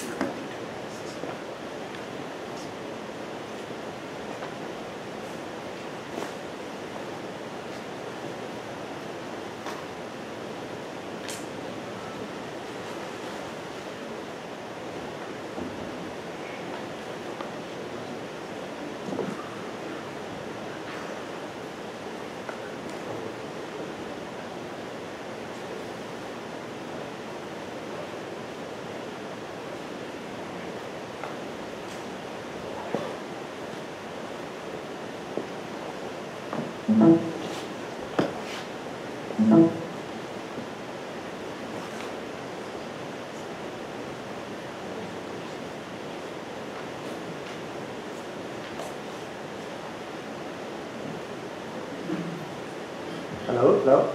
Okay.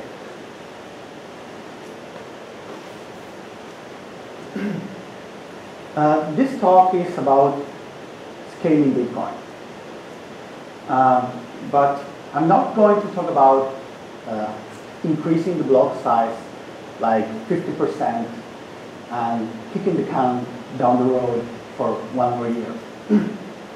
uh, this talk is about scaling Bitcoin to a billion users.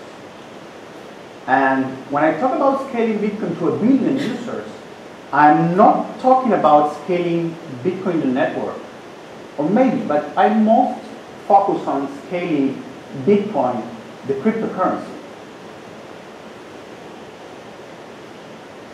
So why I want to scale Bitcoin to a billion users? Well, there is more than a billion unbanked people in this world.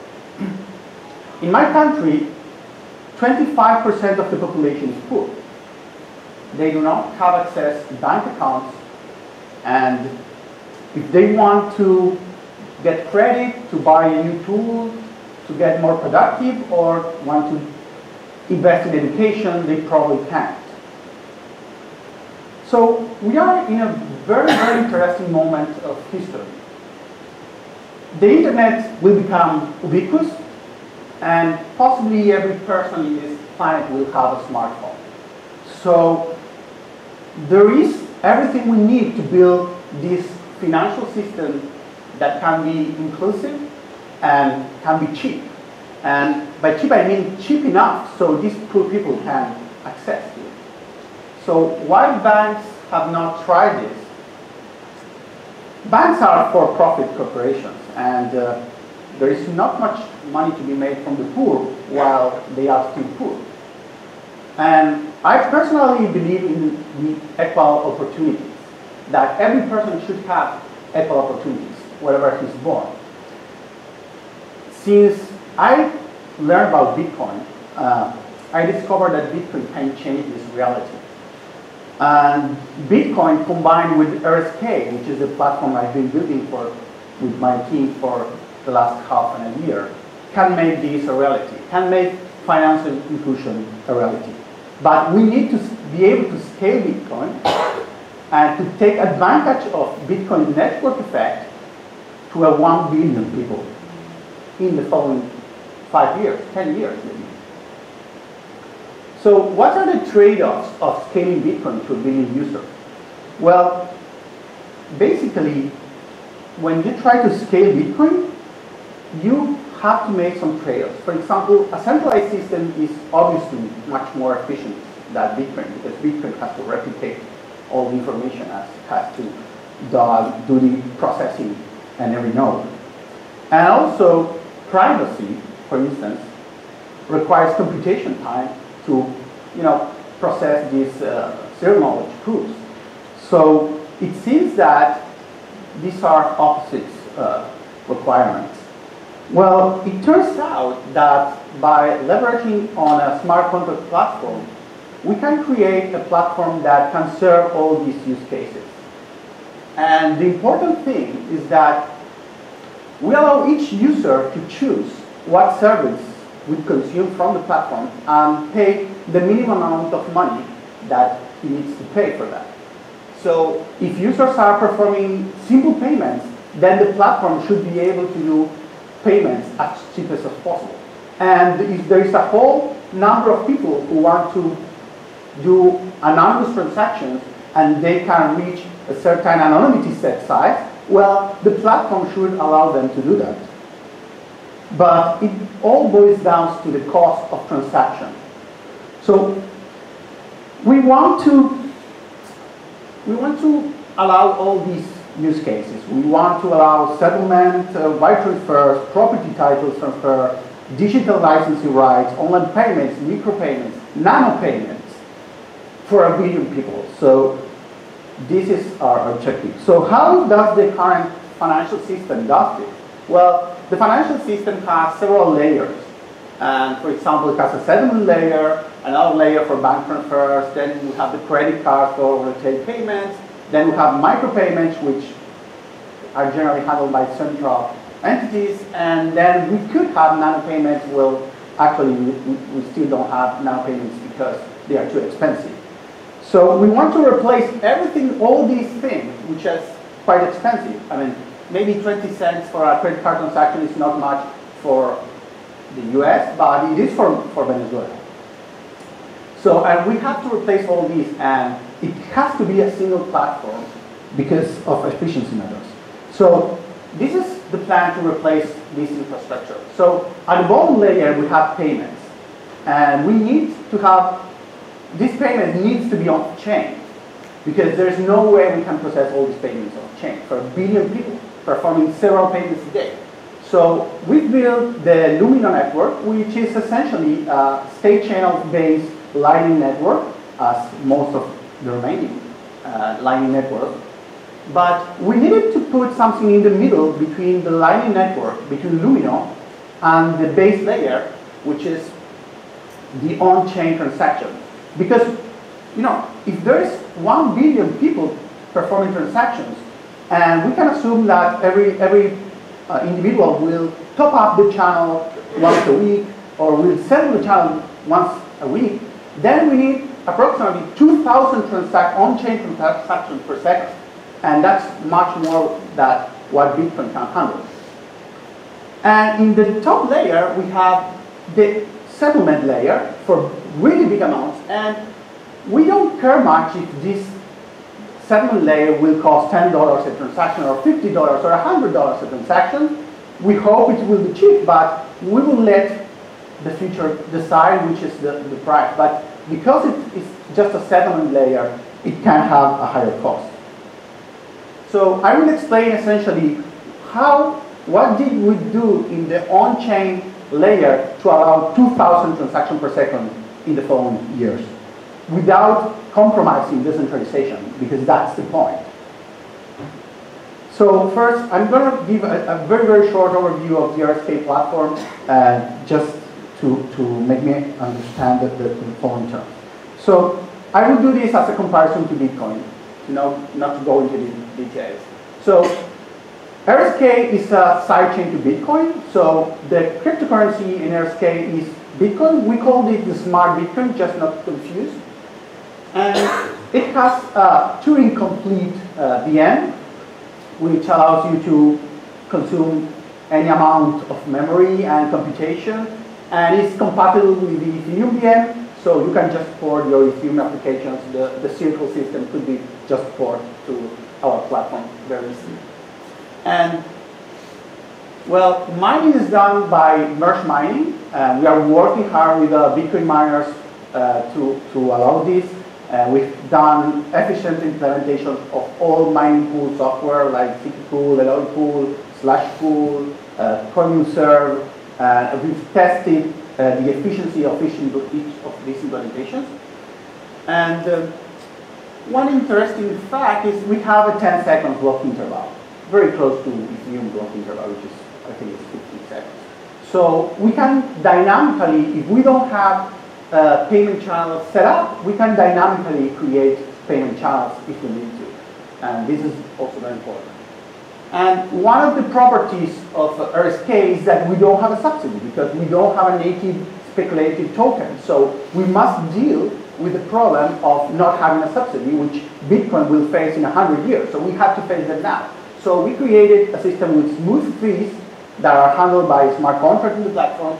So when a block is mined, the reward does not go directly to the miner, but it goes to a smart contract which pays back to the miners every block.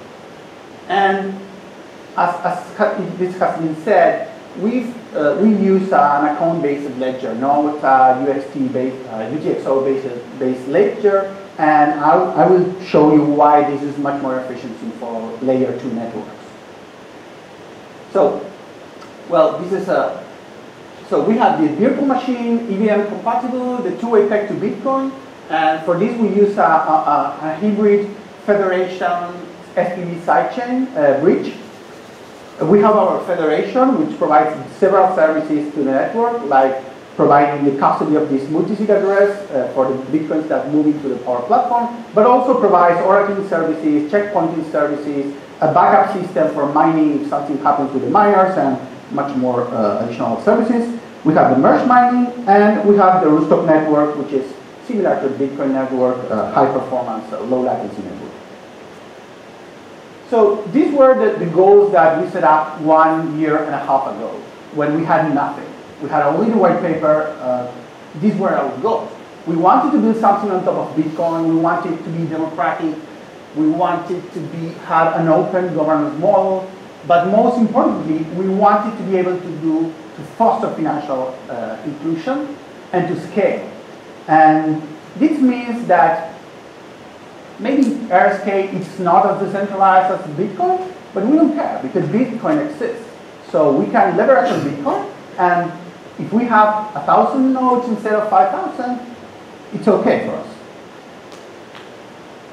So what, what is this middle layer that allows us to do 2,000 transactions per second? Well, we have the Lumino layer, which is a lightning-like network, and LTCP protocol, which is Lumino Transaction Compression Protocol, it's just a very, very simple protocol which does delta compression of previous transactions of uh, new transactions. So for example, if we, I want to do a transaction over and over again, then I can just point to a previous transaction and say, okay, copy all these fields, I'm just going to change the amount. So very easily, I can top up the channel every week just specifying the new amount. Or if I wanted to top up the channel with the same amount, I don't have to specify anything. I just say repeat that transaction.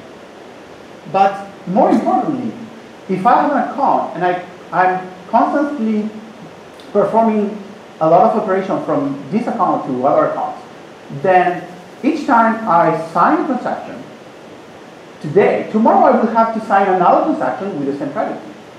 So wh why does the blockchain need these two transactions, these two signatures, sorry. The first signature can be thrown away if the second signature has a hash of the previous transaction. So basically we can aggregate transaction, throw away all, all, all signatures, and just keep the changed fields. So that's what we did.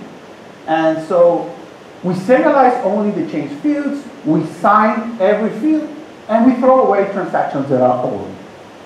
So, and this, this is done to uh, reduce costs. So what are the costs of an online transaction? Well, there are many costs. We have the, the bandwidth, the transient bandwidth that is used when you propagate the, the transaction, the transient storage, the memory pool, which consume resources, the transient computation, like uh, verifying, uh, verifying uh, signatures or smart contract. But we found out that the main bottleneck was not what happens uh, in, in, when the transaction broadcast, but the storage, the problem of storage and computation of this historic blockchain. So if we want to Bitcoin to to uh, to have 2,000 transactions per second, then the blockchain would grow 2,000 times faster. So that's like, I don't know, maybe 100 terabytes per year. It's, uh, it's completely centralized. It cannot be decentralized. And so these are the, the things we try to optimize. So this is our transaction format. It has the same fields as an Ethereum transaction, transaction, only has two new fields. It has a sequence number, and that is used by Lumino Network for efficiently transaction replacement. And it has a single field, which is called the delta TX nonce, which just points out to any previous transaction. Well, there is a buffer, there is a number of previous transactions that can actually be referred. So you just pick one and say, okay, I want to repeat, I want to use this transaction as a template. So what is signed and what is persisted? Well, the signed fields we call the signature record, uh, signs all the fields of the transaction and the hash of the previous signature record, while the fields that are persisted we call the persistent transaction information. It only stores the change fields and a very short reference to the source account. And this can be done by a, an account index, which is incremented every time an account is created, or more easily and more shortly, you can just uh, uh, store the, the, the, the, block index or the delta block index and the transaction number of the previous transaction of the same account. And that's done by the miners. So this is a simple on-chain payment channel, which is should be like an equivalent of not chain, but one chain. So in the first transaction there, the T0, we have a, a signed rec, uh, uh, signature record plus the PTO zero, zero, which is the, all the fields. In the following transaction, it's a top up, so we actually do not persist any other fields except for the account index. And when the following transaction, when T2 transaction is, uh, is mined, we can throw away the signature, the signature record of transaction T1. So basically, in that sequence, the two middle transactions rec uh, signature records are removed from the blockchain. Well, but this implies that we have to change the block synchronization protocol for historical data. Because if we receive a block, it's missing the, it's missing the signature. So we, we, where there's no way we can detect if this is a valid or invalid block. So we have to look ahead in the future. And because we have to look ahead in the future, we need header, headers-first synchronization just to make sure that the, the candidate for best chain we are analyzing has enough proof of work so we can actually try to, um, to verify that because if not, we will be very easily uh, uh, be victims of a denial service attack. So we first do headers-first synchronization, we have a candidate for the best chain, and then we will go into evaluate each block. So in, in this uh, diagram, we received the first block, and the first block has three transactions, A1, B1, C1, from Alice, uh, Bob, and Carol, but it's missing all, all signature data. So we cannot say anything about this block, we have to get the next block. In the next block, we have A2, which is the second transaction from Alice. It has a transaction, it has a signature record. So basically, at this point, we know that A1 is dated because A, uh, A2, the transaction, the signature record of A2 has verified A1. And in this case, B3 and C2 do the same with the on-chain payment channels of Bob and Carol. And this is, this is what needs to be done. So now the problem is how to encode this information with the minimum amount of space. So we need a compact encoding. There are a lot of ways we could have done this. We just choose one of it. We encode the, the, the field, that the change field in a 3-bit uh, field. The amount of the transaction, we encode it in a 5-bit uh, base 10 exponent and a variable length uh, unsigned integer mantissa. And to choose, uh, to encode mantissa, we use uh, static uh, Huffman coding uh, with some particularities that you, you can encode the unit 1 with just one bit. Like uh, the, the, if, if, the, if the number begins with 0, then that means 1. And if it begins with 1, then, well, it can be, if it continues with 0, it can be 6 additional bits. And if not, well, this is a, it's a variable length encoding, which is very easy to parse. And then we have the field that encodes the previous transaction from the same account, and we can encode it with two uh, variable length unsigned integers, which is the block distance to the previous block and the transaction index in that block. And as an example, if I want to top up my channel with one Bitcoin, I just use three bits for the bit, the field selector, five bits for the exponent, one bit to specify one, and 32 bits to specify the previous transaction, and that's five bytes. And that's all that needs to be stored in the blockchain ever. Okay? Well, there, there is the amortization cost of the signature. I mean, if I perform 100 transactions and the signature has, is 64 bytes, well, each, of, each one of these transactions is consuming 0.64 additional bytes. So how are Lumino uh, pay off-chain payment channels and how do they use uh, LTCP? Well, there, are, there were two possibilities to, to do this. And I, I, didn't say before, but in Ethereum and in RSK, the center of the transaction is computed by doing ECDSA public key recovery from the signature. So we can extend that system to, to create joint accounts. And for instance, we can uh, create a, an account that is controlled by Alice and Bob just by creating a transaction that has two signatures. And then when these signatures are, uh, the public keys are recovered, they, they are concatenated, they are hashed, and we actually created a joint account that needs both keys to be to to receive uh, uh, transactions.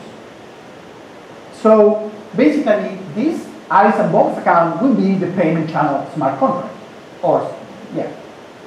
So uh, here is an example of a channel top-up. So Alice creates a transaction from her private account saying that he's, she's going to top up the channel with just one Bitcoin and sends that to the payment channel contract and that only takes five bytes.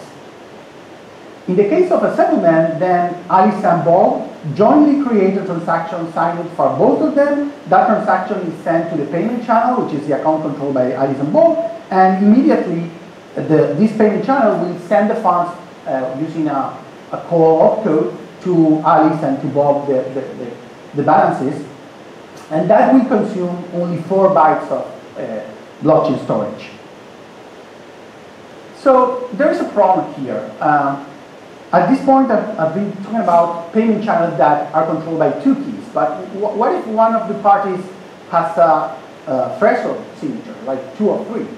Well, there is a trick we can do to create multi-signatures and still be able to compress them with LTCP. In this case, for example, we create four different contracts. The middle one is controlled by three keys, and we, we create three other contracts controlled by each pair of keys. So the middle contract will can receive orders from each one of the contracts controlled by two keys. So now, if Alice and the escrow wants to create a transaction, they send that transaction to the account controlled by Alice and the escrow, and the Alice and the escrow will forward the command.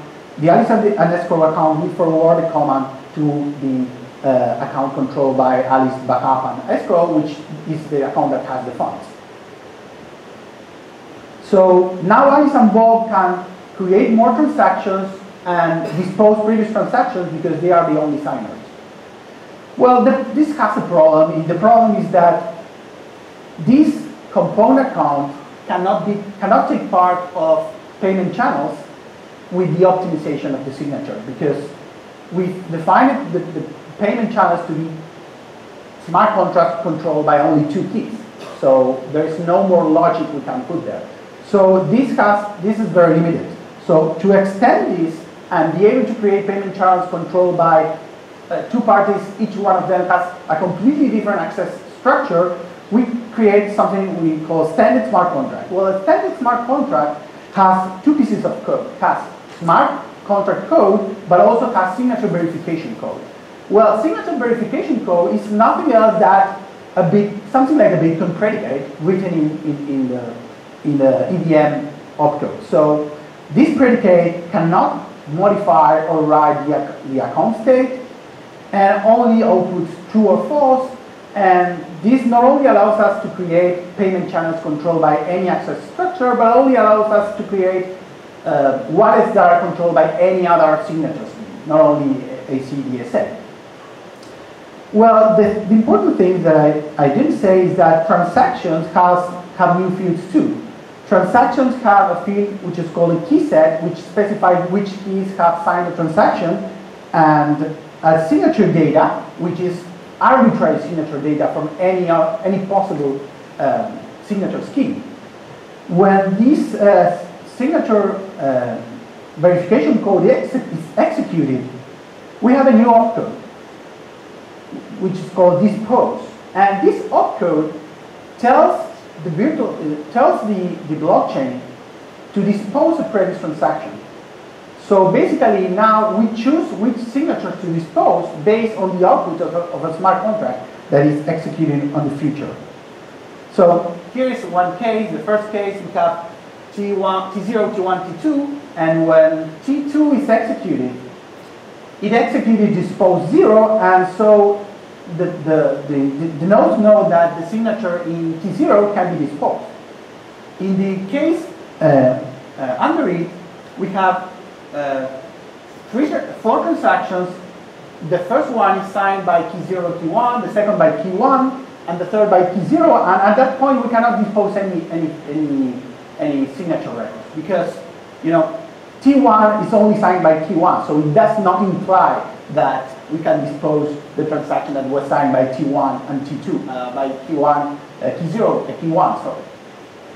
But when the transaction signed by uh, T0 and T1 together comes, then that transaction executes dispose the set 0 and 1, and then we can just dispose all previous uh, signature records. Okay, so uh, at this point I've been talking about implementing Lumino and LTCP on top of RSK, on top of Bitcoin. And you may think that this is a long path to go. We are working on that, but you could also implement uh, LTCP and RSK and, and Lumino as a Bitcoin software. And this can be done using uh, a mechanism called extension blocks, which basically allows you to put uh, any, any number of additional transactions to a block. And for, we assume that this extension block is limited to, let's say, one megabyte, so it does not compromise uh, Bitcoin scalability or Bitcoin decentralization or propagation. And to send, we have to define this new ledger living in the extension block with a completely different model. And to send uh, bitcoins from the main chain to this extension block, we have to send them to uh, an address which pre-fork is uh, anyone can, can spend, but post-fork is a special address that has very uh, has limiting rules. For example, it could be a push-only script that has a Lumino tag and a Lumino address. And all miners and all full nodes would understand that that means that those funds have been transferred to a new account address space that lives in the extension block. And to move Bitcoin back is very easy. Uh, then miners can just specify in a scriptSig a pointer to a Lumino transaction and, and, and all nodes will understand that that means that those anyone can spend um, outputs can be consumed. So what's the, what are the different roads of scalability using all these te techniques? Well, we have to make some assumptions on usage pattern because there are a lot of things we don't know, but we can assume that every user, the user will essentially use payment channels. They will not have an incentive to go on chain. So the most of the transactions that will be on chain are payment, uh, payment channel settlements and payment channel top-ups. So we can assume that every user will do one top-up or one settlement every week, and every user will perform five payments a day. So under these assumptions, we have these figures. So Bitcoin can do, can do three transactions per second, and under these assumptions of usage pattern, it could have uh, 50,000 active users. Uh, Bitcoin plus SegWit is a little better. We can have maybe five transactions per second and reach 80,000 uh, active users. But that's too, too low. So if we combine Bitcoin plus LTCP, then we can reach 30 transactions per second, which is not bad, and reach half a million users. Now, RSK over Bitcoin without the Lightning Network, without Lumino, can handle 100 transactions per second within the same space, I mean, consuming the same resources, and could reach 1.7 million users. And now comes the Lightning Network uh, types, which is basically what we want to deploy. So Bitcoin plus SegWit plus Lightning Network, under these assumptions, could serve um, 3 million users, which is not bad, but we want to serve a billion users. Um, RSK plus Lumino without transaction compression can serve 60 million users. And Bitcoin plus LTCP plus Lumino without RSK can serve 200 million users. So this is a real, without even thinking about the RSK, this is a real path forward for scaling Bitcoin and keeping Bitcoin decentralized. And last, our choice is using RSK plus LTCP plus Lumino to reach 1.2 billion active users under these assumptions. Well, this is all. This is all for today. Um, just we're going to make the summary. We want to scale Bitcoin to a billion users. I've said this 10 times. And the only way to do this is by compressing transactions on chain. There's no other, other way to reach that point. And we did this extension to Ethereum smart contracts to be able to create any kind of access structures to the payment channels. And we are working hard with financial institutions, companies, to build this inclusive and cheap financial system for the whole world. Well, thank you very much. Uh, if you have a question, I don't know if you have time.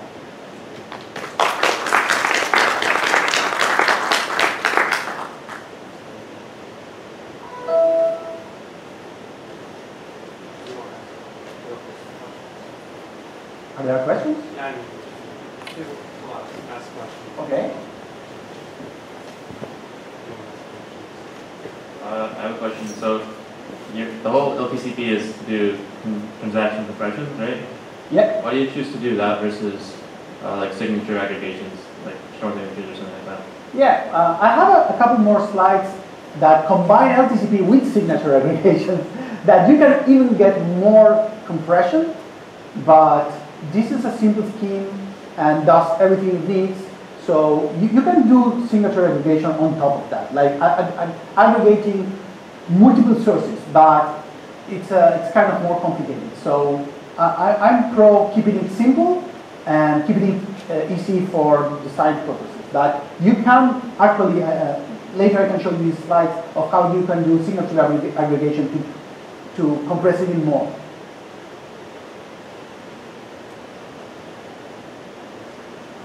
That's it.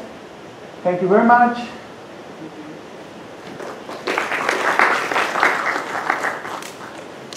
Um, our next speaker is Alex Shevchenko, a researcher at the Bitfury Group, where he leads the company's research on public, on private blockchains. Today, he'll be talking about his work on using digital timestamping for registering land titles.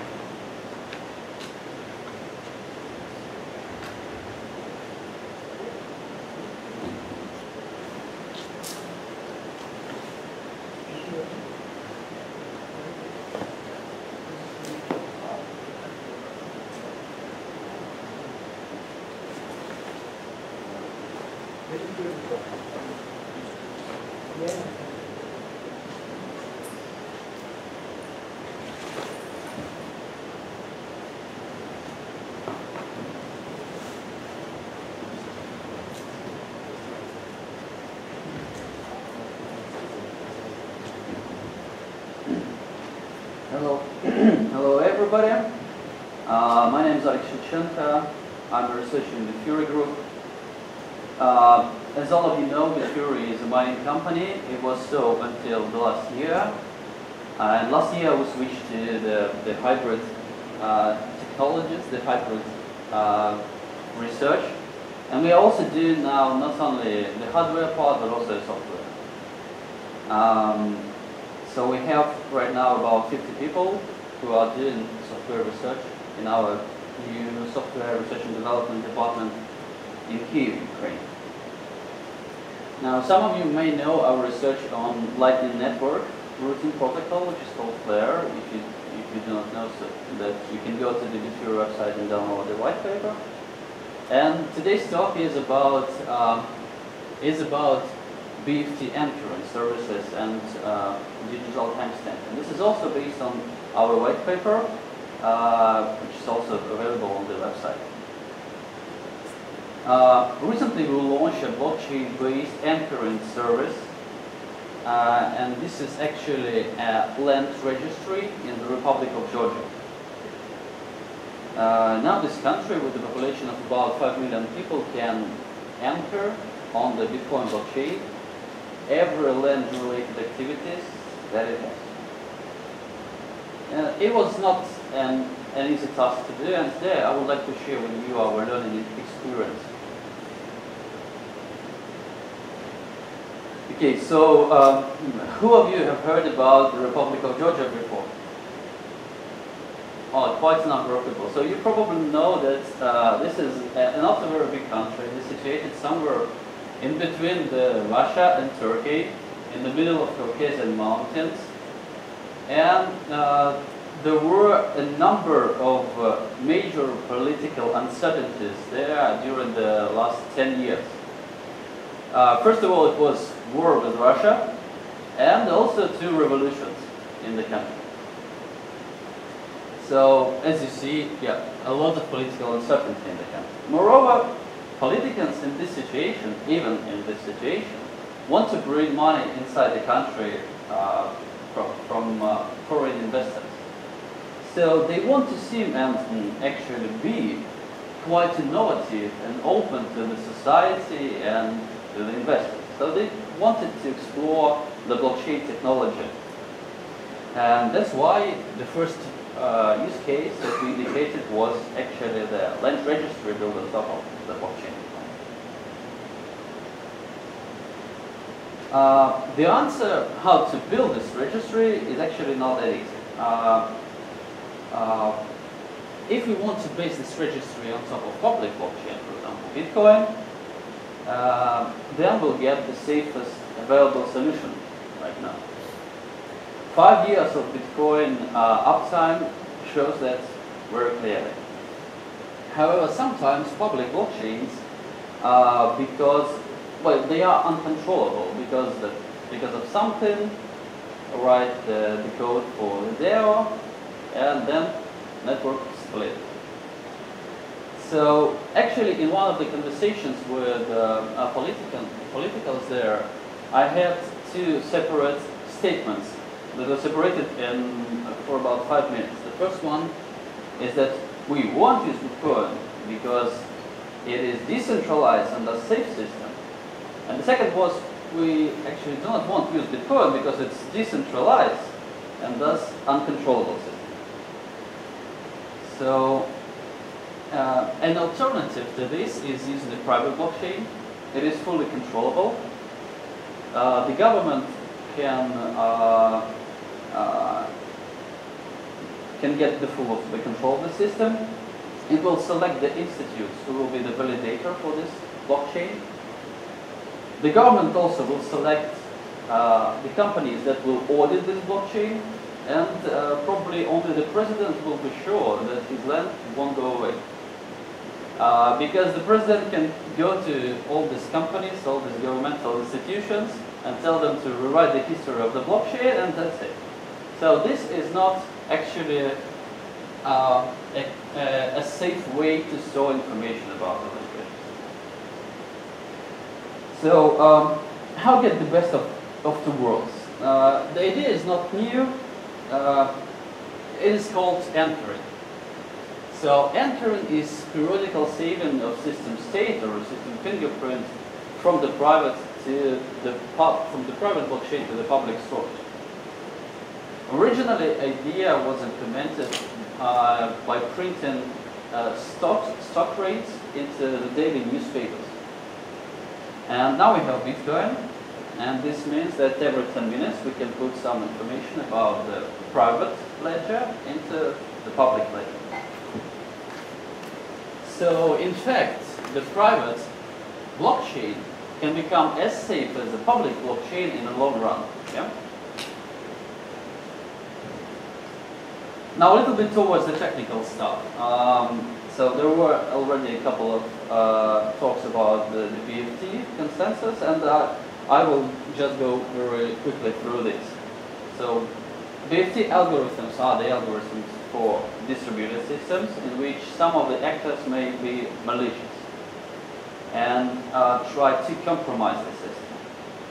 And a couple of facts about BFT consensus. If we have uh, F uh, or Byzantine nodes, then we need to have 3F plus 1 validators to handle this. And also every decision that is made by 2F plus 1 validator is actually a, a consensus. At this point we say the consensus is reached. Now I'm not going to tell you more about BFT consensus itself, at least today.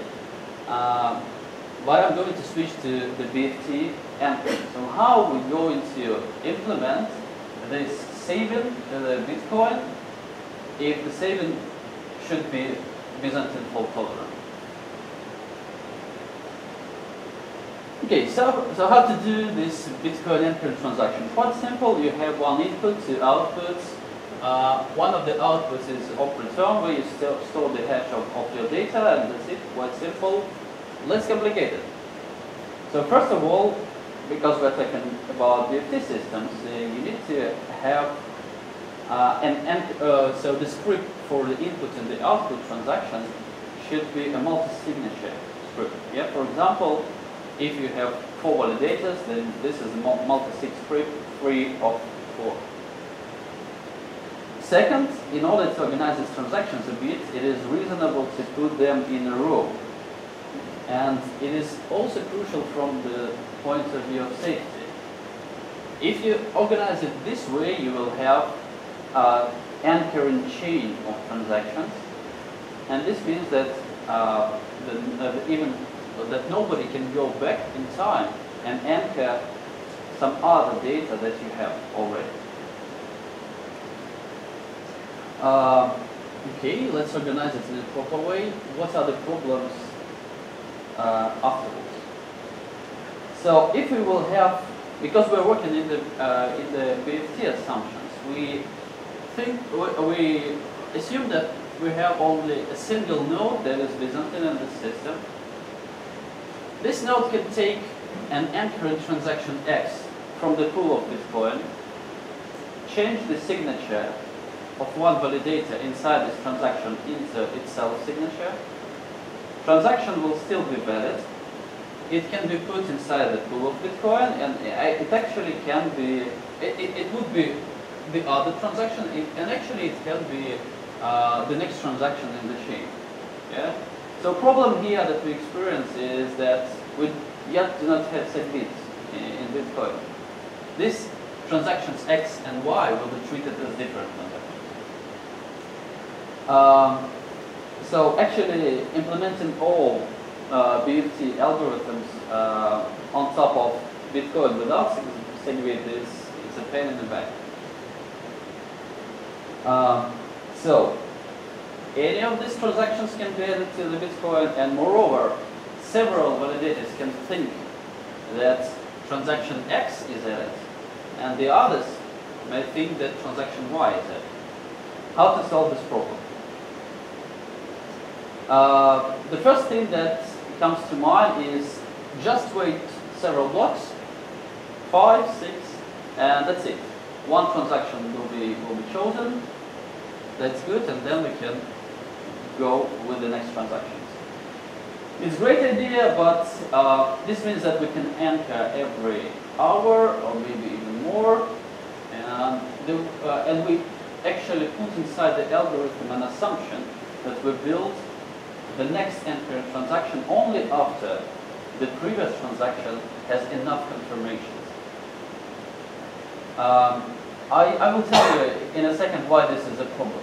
So imagine that you put a transaction with a low fee. You need to, uh, for example, use a replace by fee technique, or you need, or you want to put an additional transaction with higher fee after this transaction in order for miners to simulate them. And if inside the algorithm you do not have this property of adding new transactions after the transactions that are actually not in the chain but in pool, you leave it to your algorithm. So I would like to I would like to present to you a little bit um, uh, well the other idea how to deal with this problem. And in order to do so, I need to introduce a concept that is called lect. Uh, this is the last expected correct transaction. Uh, quite simple. So uh, there is your chain of endpoint transaction. The last transaction in this chain is actually lect. It is expected because we expect that it would be added inside the Bitcoin blockchain. However, the stuff can be changed, and if the chain goes through the transaction Y, the lect transaction will be pointed to this Y transaction. So what is actually the algorithm?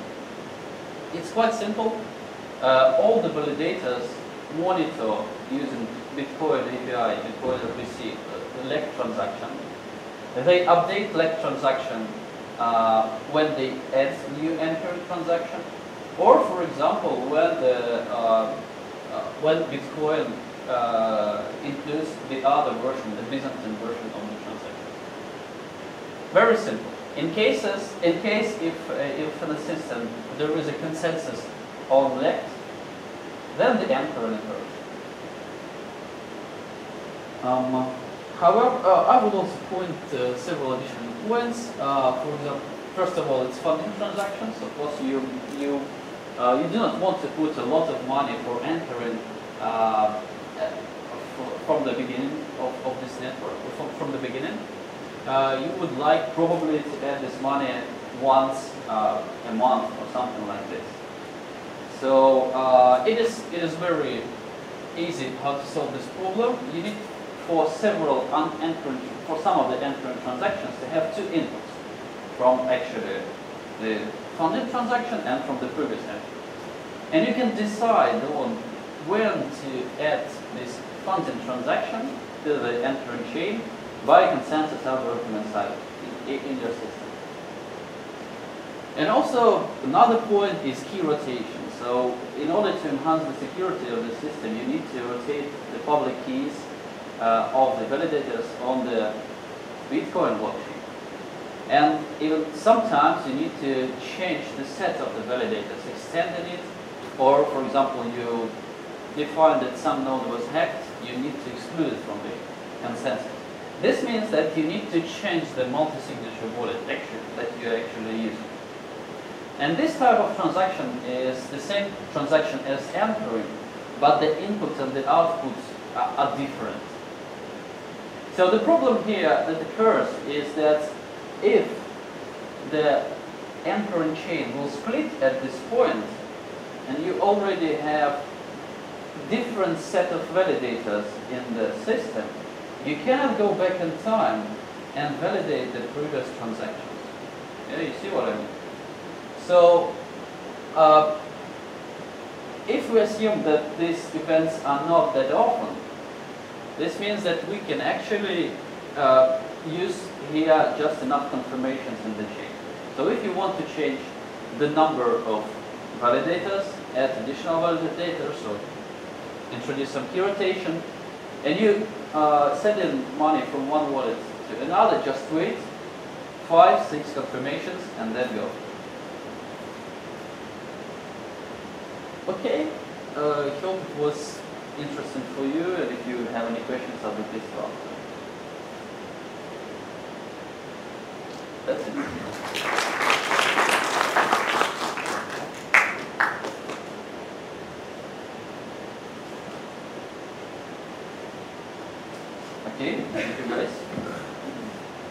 Thanks, Alex. Okay, our last speaker for the day is Joey Krug. He's a 2016 Thiel Fellow and the lead backend developer at Augur, a decentralized prediction market built on top of Ethereum.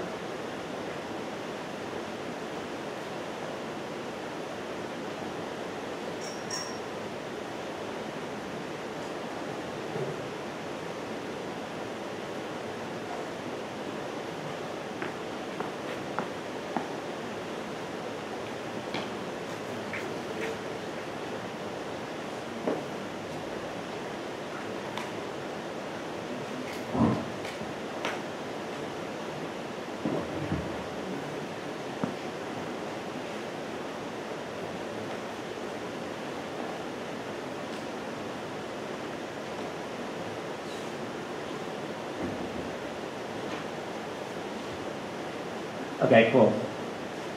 So we're going to go over three things. Um, basically, what is Augur, how it works, and some ideas of like what it's like to build on Ethereum. Uh, but first, it's important to understand what prediction markets even are. Uh, so prediction markets are basically a very broad category of financial market. Um, the idea is you can kind of implement any other sort of financial market as a subset of a prediction market. So a few simple types of binary ones. So it's like, will this event happen or will it not? Um, Trump win on 16 or not? Um, and there's also categorical ones, so that's like which horse will win this race. Um, and then there's also scalars. And scalars are like what will the share price of Apple be at the end of quarter four, how many iPhones will Apple sell this year, things like that.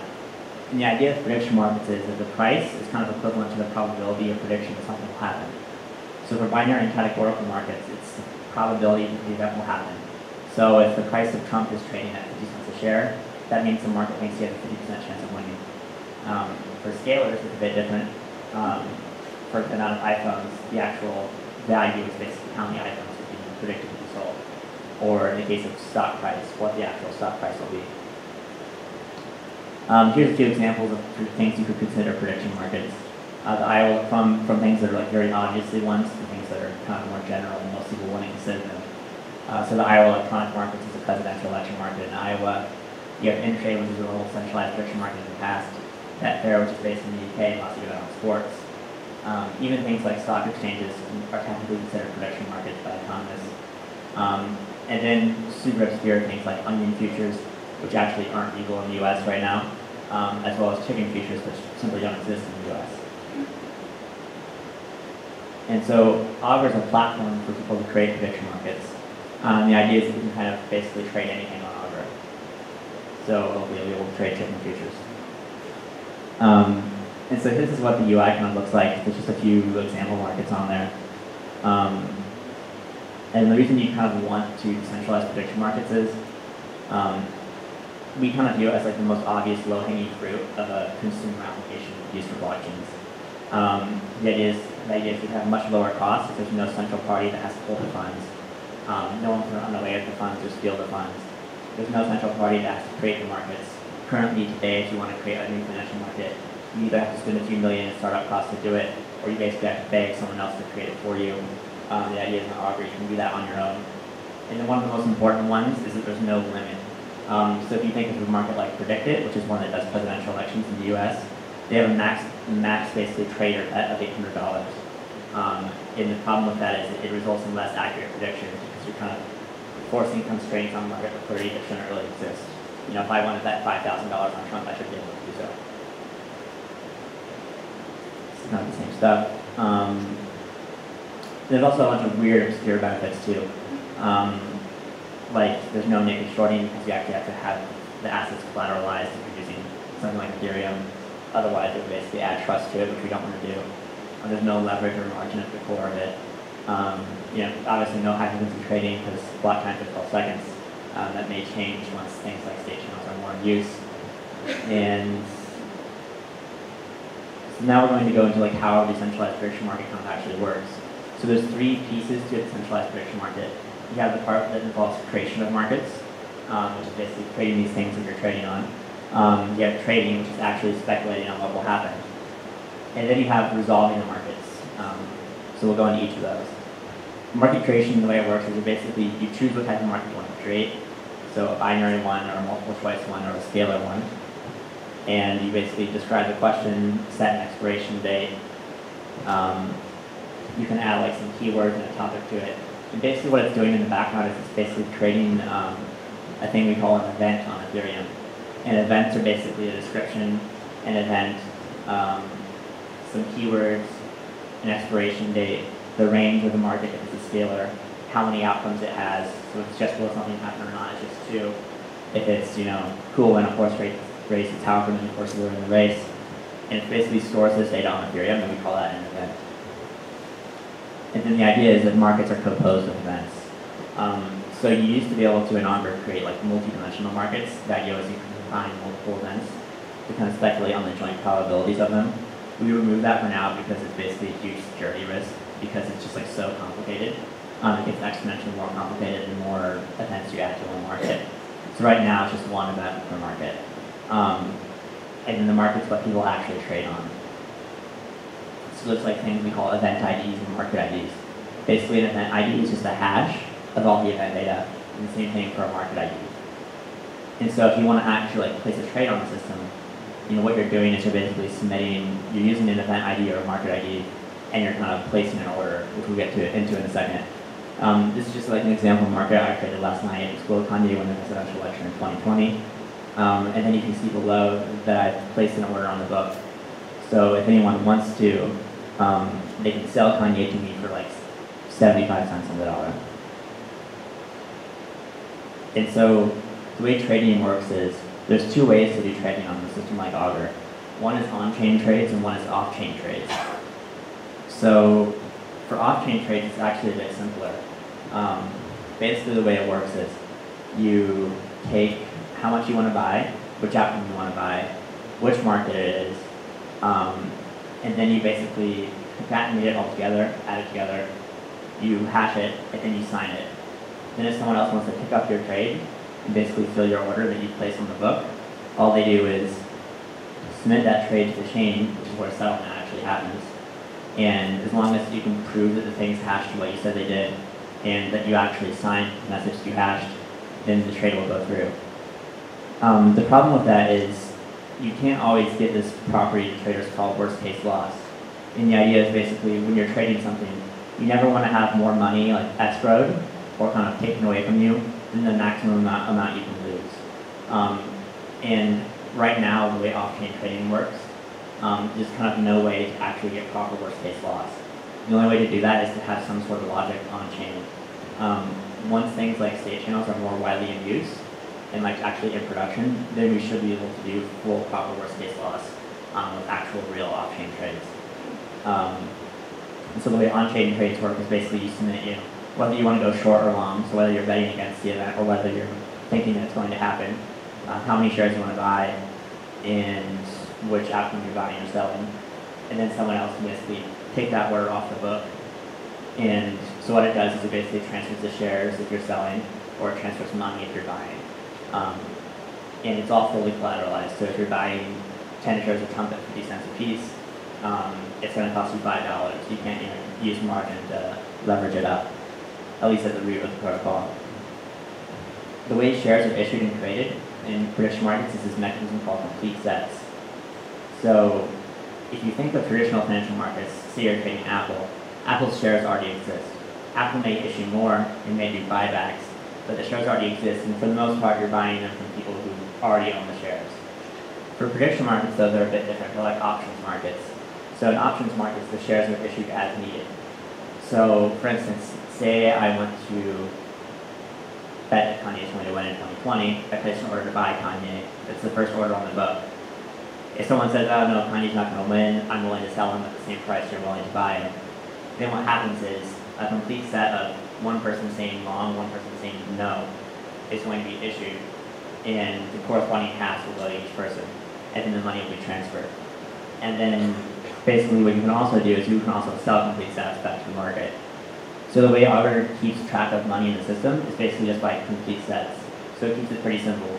If the market issues 10 complete sets in a market denominator in, in Ether, then it's going to have 10 Ether.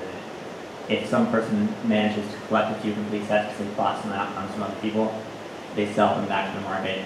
Say they sell four, the market now has six Ether. It's basically a pretty simple accounting mechanism, and it's actually not altogether not that different um, than the way options markets work today. So this is just an example of like creating an order um, and then placing it on the book. And then this is just like another thing in the UI where you can basically, you know, you can obviously transfer funds to other people. Um, you'll be able to like deposit Ether with Shapeshift and Coinbase. Um, so the idea is that we want this to actually like be easy for people to use. Um, and so you know, someone like my mom, for instance, isn't necessarily going to be able to do this unless you have like an easy way to deposit something like Ether. Like buying on Poloniex for the average consumer is, is not necessarily that easy. Um, so where Augur actually kind of gets interesting is the reporting and resolution part. Uh, so the reason there's an Apple logo there is, if you think of Apple, it doesn't have a resolution. Um, ignoring the scenario where Apple gets acquired or Apple goes bankrupt, it's just, it's just going to be continuously trading in the market. But prediction markets have resolutions, the same way options markets do. So if you make a market on the presidential election, at some point the election has happened, and you need to do the payouts accordingly. So the people who won need to get a dollar or an ether per share that they own. People who lost it, so they just don't get anything.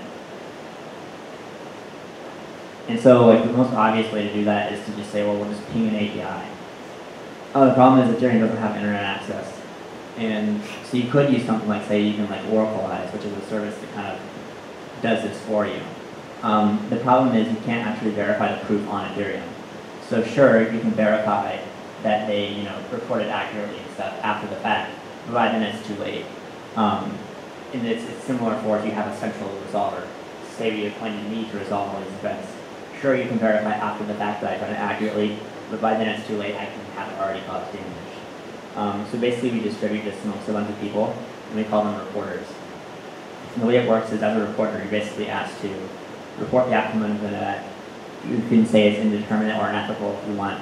Um, but you're basically, your job is to report the outcomes of, these events on Augur. Um, and it could actually be used for things besides Augur as well. Anything where you need to get real information into Ethereum, uh, you could use our reporting system for. And the way it works is there's like two parts to it. Um, it's a commit and reveal. So in the first half, you take um, your report, which event you're reporting on, and a random number called a salt, and it's basically hashed together, and you commit that hash. Um, and then the second half, you reveal it. If you want to collude with someone or cheat with someone, um, you could just tell them, you know, here's what I reported.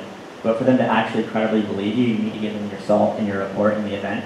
They need to be, need to be able to hash it together and verify that the hash matches what you actually have on chain. Um, so what we do is we have this thing, we have this function where you can basically, it's called slash rep. And the idea is that you could collude with someone, but you could also just take their salt, provide it to the network, and verify that it matches, that that plus the report matches the hash they have. And basically by doing that, you can steal all their reputation. Um, so the idea is it's a very strong disincentive to provably collude um, because of that commitment deal. And the way reporting works is each reporter has a token called rep, which is kind of like a crypto economic bond. Um, so it's basically designed to track how often you report with consensus. So if you're reporting with the consensus, you your rep basically stays the same. Um, if you're reporting against it, you lose that and it's redistributed to people who reported accurately. Um, the main incentive for reporting is that you get half of the fees that go to the system, the other half goes to whoever creates the markets. Um, and then the main incentive to lying is you lose reputation. And there's also two backstops.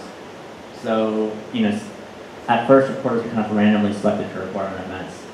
Um, but say you manage to collude with a handful of people because you happen to know them or something. Then the first backstop is everyone is selected to report on that event. Um, the way it works is someone posts a bond, so they're basically saying, you know, I think this event was falsely reported on. I want everyone to report on it. if they come to the same conclusion that originally happened, um, and they lose their bond, they're just wasting everyone's time. If the, if the second group of reporters come to something different, um, that means that their bond was actually valid, and they were right to kind of raise the alarm bells. And so then what happens is people who reported dishonestly in the first period lose reputation, and those who reported accurately actually gain. Um, but say you were able to get over 51% of the network, um, like a 51% attack, and you kind of just got past this part of the system too. Worst case scenario, we can always fork, um, where basically it would separate into two sets of reputation. So an example would just be one set says, you know, Hillary won, one set says Trump won. And um, as a user of the system, you're going to want to create markers on the set that actually affects reality. Because if you're creating ones on the set that says Hillary won, you don't really have much guarantee that they're going to report honestly in the future because, well, they said Hillary won and she didn't. And so the idea is that kind of economically, that set of reputation should have a higher value than the fork that actually represents reality. The traders should want to trade on markets that are used using that set, um, and so on. Kind of similar to where if Bitcoin forks, it's not just one group of people who kind of determine which fork wins. It really does involve all the ecosystem. There's also two other kind of arguments for honesty that are much, much weaker. Um, one is if an event is kind of ambiguous, you can say that it's indeterminate. So a good example of this is a question like, does God exist? Well, you can't really prove that verifiably, um, so it would be best to report indeterminate. Um, the other argument is similar to one that many miners have with Bitcoin, which is, well, if we did a 51% attack, the value of Bitcoin would drop catastrophically because we basically proved that the network isn't very secure. Um, you can kind of say the similar thing for reporters. If they reported dis- dishonestly, there's not really any reason for someone to use the system anymore. Um, so they have a large disincentive to not do that in the future. um, but it's much weaker than the other arguments of like forking, actually forking. Um, and so the way your app works is the way people are still able to trade it um, is you can make it dormant where you don't have to report, but you also don't get any trading fees or redistributions. Um, so the idea is that there should be kind of some economic equilibrium reached here. Um, if a ton of people are making it dormant, the amount of people who are actually reporting should get a larger portion of the fees because they're the only ones reporting. Um, and so it's kind of similar to the idea of, as a miner, you have the choice to keep your miner on or turn it off because you're not making any money, so you're not, you're not above break even anymore. Um, and you kind of have a similar thing for the reporting system. Um, let's see. This is just like an idea of like liquidity for um, prediction markets today is kind of like this. Financial markets in general, it's very segregated. Um, the idea with, with on blockchain prediction markets is it can kind of be global. Um, basically, the idea is today there's large jurisdictional barriers. So a person in China may not be able to trade with me. I usually can't trade with a person in China. And these all sorts of weird situations that exist all over the world. My friends in South Africa can't buy Apple stock because they're in South Africa. Um, and the idea is with on-chain prediction markets, you can kind of get rid of this problem because um, it's just basically basic cryptography and economics. It doesn't care where you're from or who you are or anything about you really. So our experience building and developing on Ether, Ethereum, um, it is a closer interaction than Bitcoin core team. I think that's just because the development of Ethereum is a bit more centralized, so around it. Um, as an example, like there wasn't there weren't strings in Ethereum, and we didn't really want to have to encode a bunch of integers and and do something like that. So I just asked Vitalik, you know, are you ever going to add strings? And then he came back an hour later with GitHub commit, which added strings to Serpent. Um, and then another example is I found like a vulnerability in, in Send in Serpent, and he also fixed that within 30 minutes. Um, so that's just like kind of one like, perk of building on. Um, it's also like, at least in my experience, an order of magnitude faster to build complicated applications on. Um, so to give an example, when I was building on Bitcoin Core, uh, the amount of work it took me about a month to do by adding opcodes took me about a day to do on Ethereum. Um, there's also some negatives, like people will think you're an idiot. Um, I've been told many times that I'm an idiot for building on Ethereum. You know, that's, that's slowly changing as the market cap's, you know, reaching closer to 2 billion. Um, but back in the early days when it wasn't even traded, um, people call you an idiot all the time. My solution to that was basically just post a them. Um, so for example, I up a with some guy at Blockstream on basically, he said that someone would write a, a contract on Ethereum and it would escape the virtual machine and basically execute some malicious code on someone's computer. Um, and say like, that guy got owes me a Bitcoin, which is worth a lot more now than it was then. Um, another interesting thing about Ethereum is it kind of has like these sister protocols. Um, there's two of them. One is called Swarm, which is kind of like IPFS, but it's not nearly as mature, I would say. We don't use that. Um, there is one called Whisper, which is like it's like a messaging protocol. Um, this is a screenshot. You can't really see it, but it's like the chat system in Augur.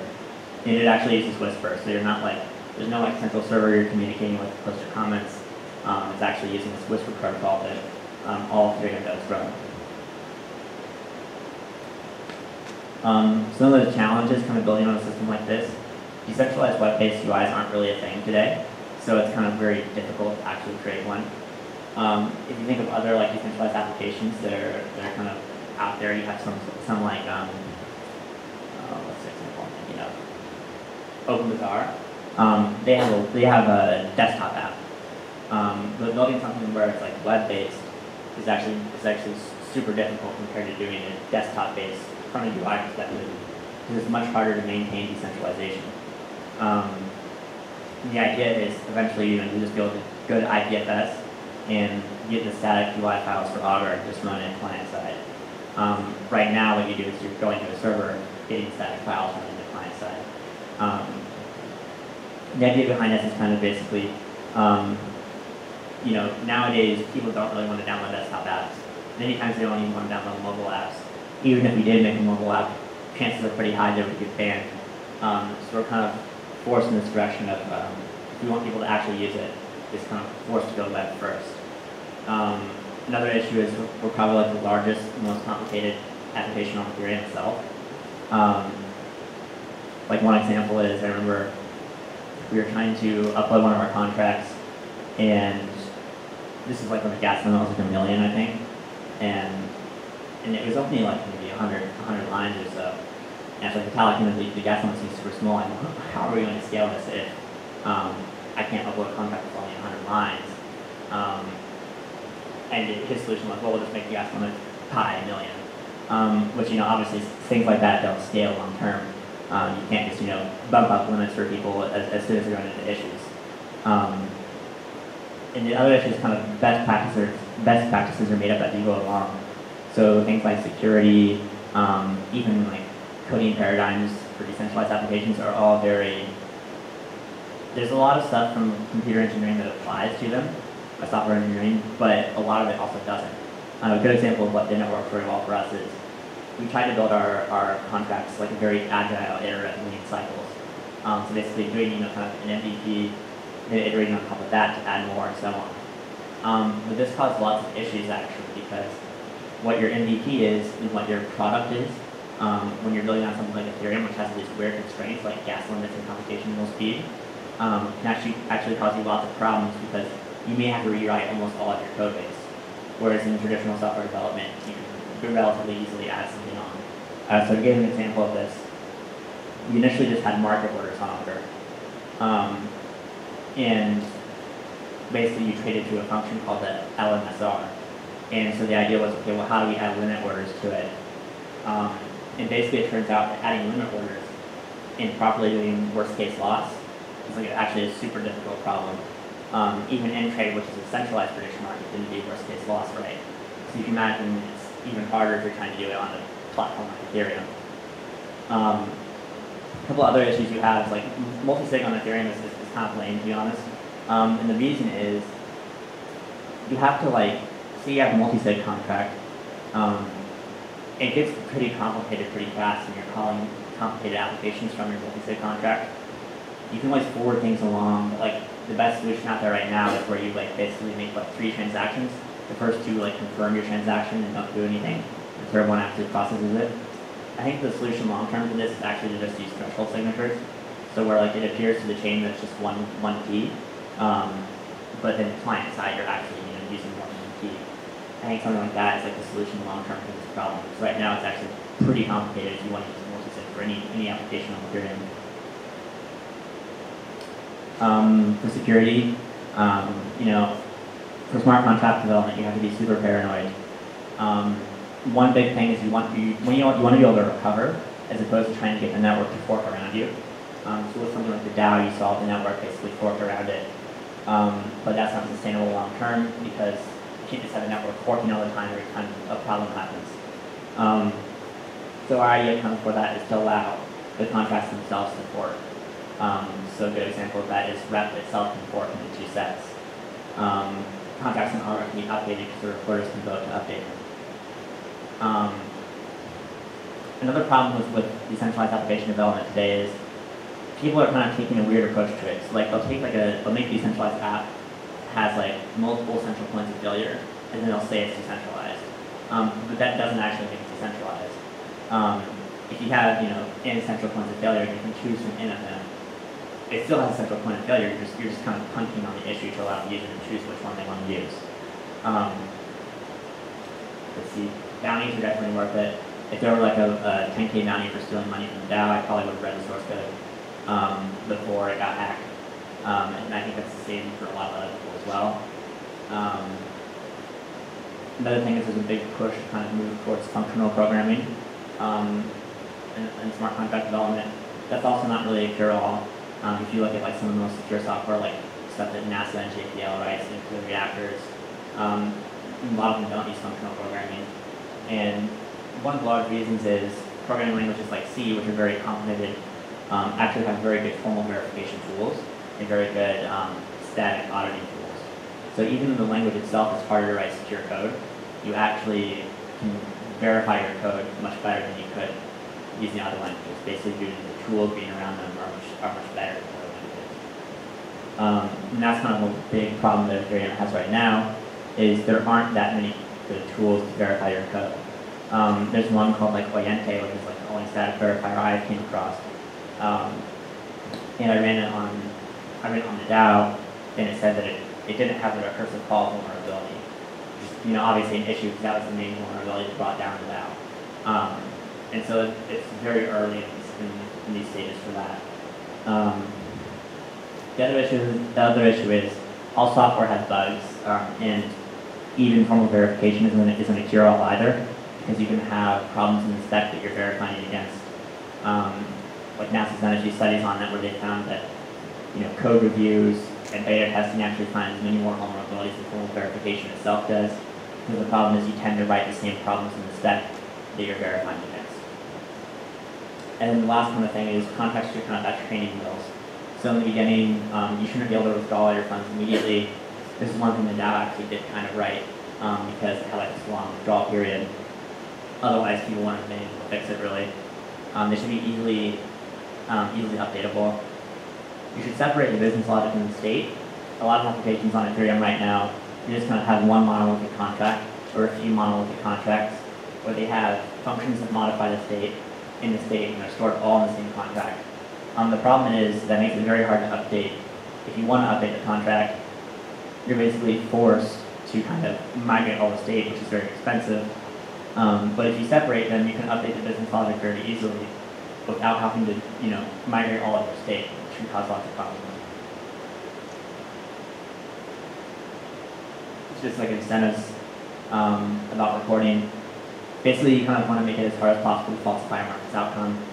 Um, we already talked about most of this. One other thing with that development is if you have like a token or anything and you can kind of fork out the token or lower fees and not get lower security, you're basically rent seeking. You're not actually really adding value, at least in my opinion. Um, if if you can fork it out and it causes a bunch of problems because like you're actually losing value by doing it, um, you're not paying for security anymore, then that's actually pretty good. So if you look at something like Bitcoin, there's a reason no one does multi-million dollar transactions on the Bitcoin testnet. And the reason is because there's not any like, security there. Um, but if you can remove a token in some system and the security model doesn't drop at all, then it's basically rent seeking and, and you should expect that to happen.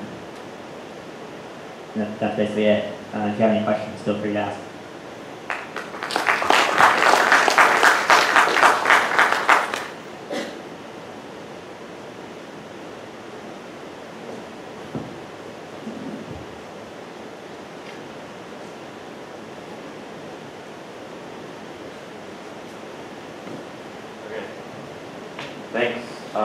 that's it for the expo. Thanks everyone for coming. Uh, thanks to our sponsors, The Fury, and Saya. Uh, thanks to all the speakers who came. Thanks to the live stream operator, Hinoke, and everyone else who helped plan the, the expo. Yeah.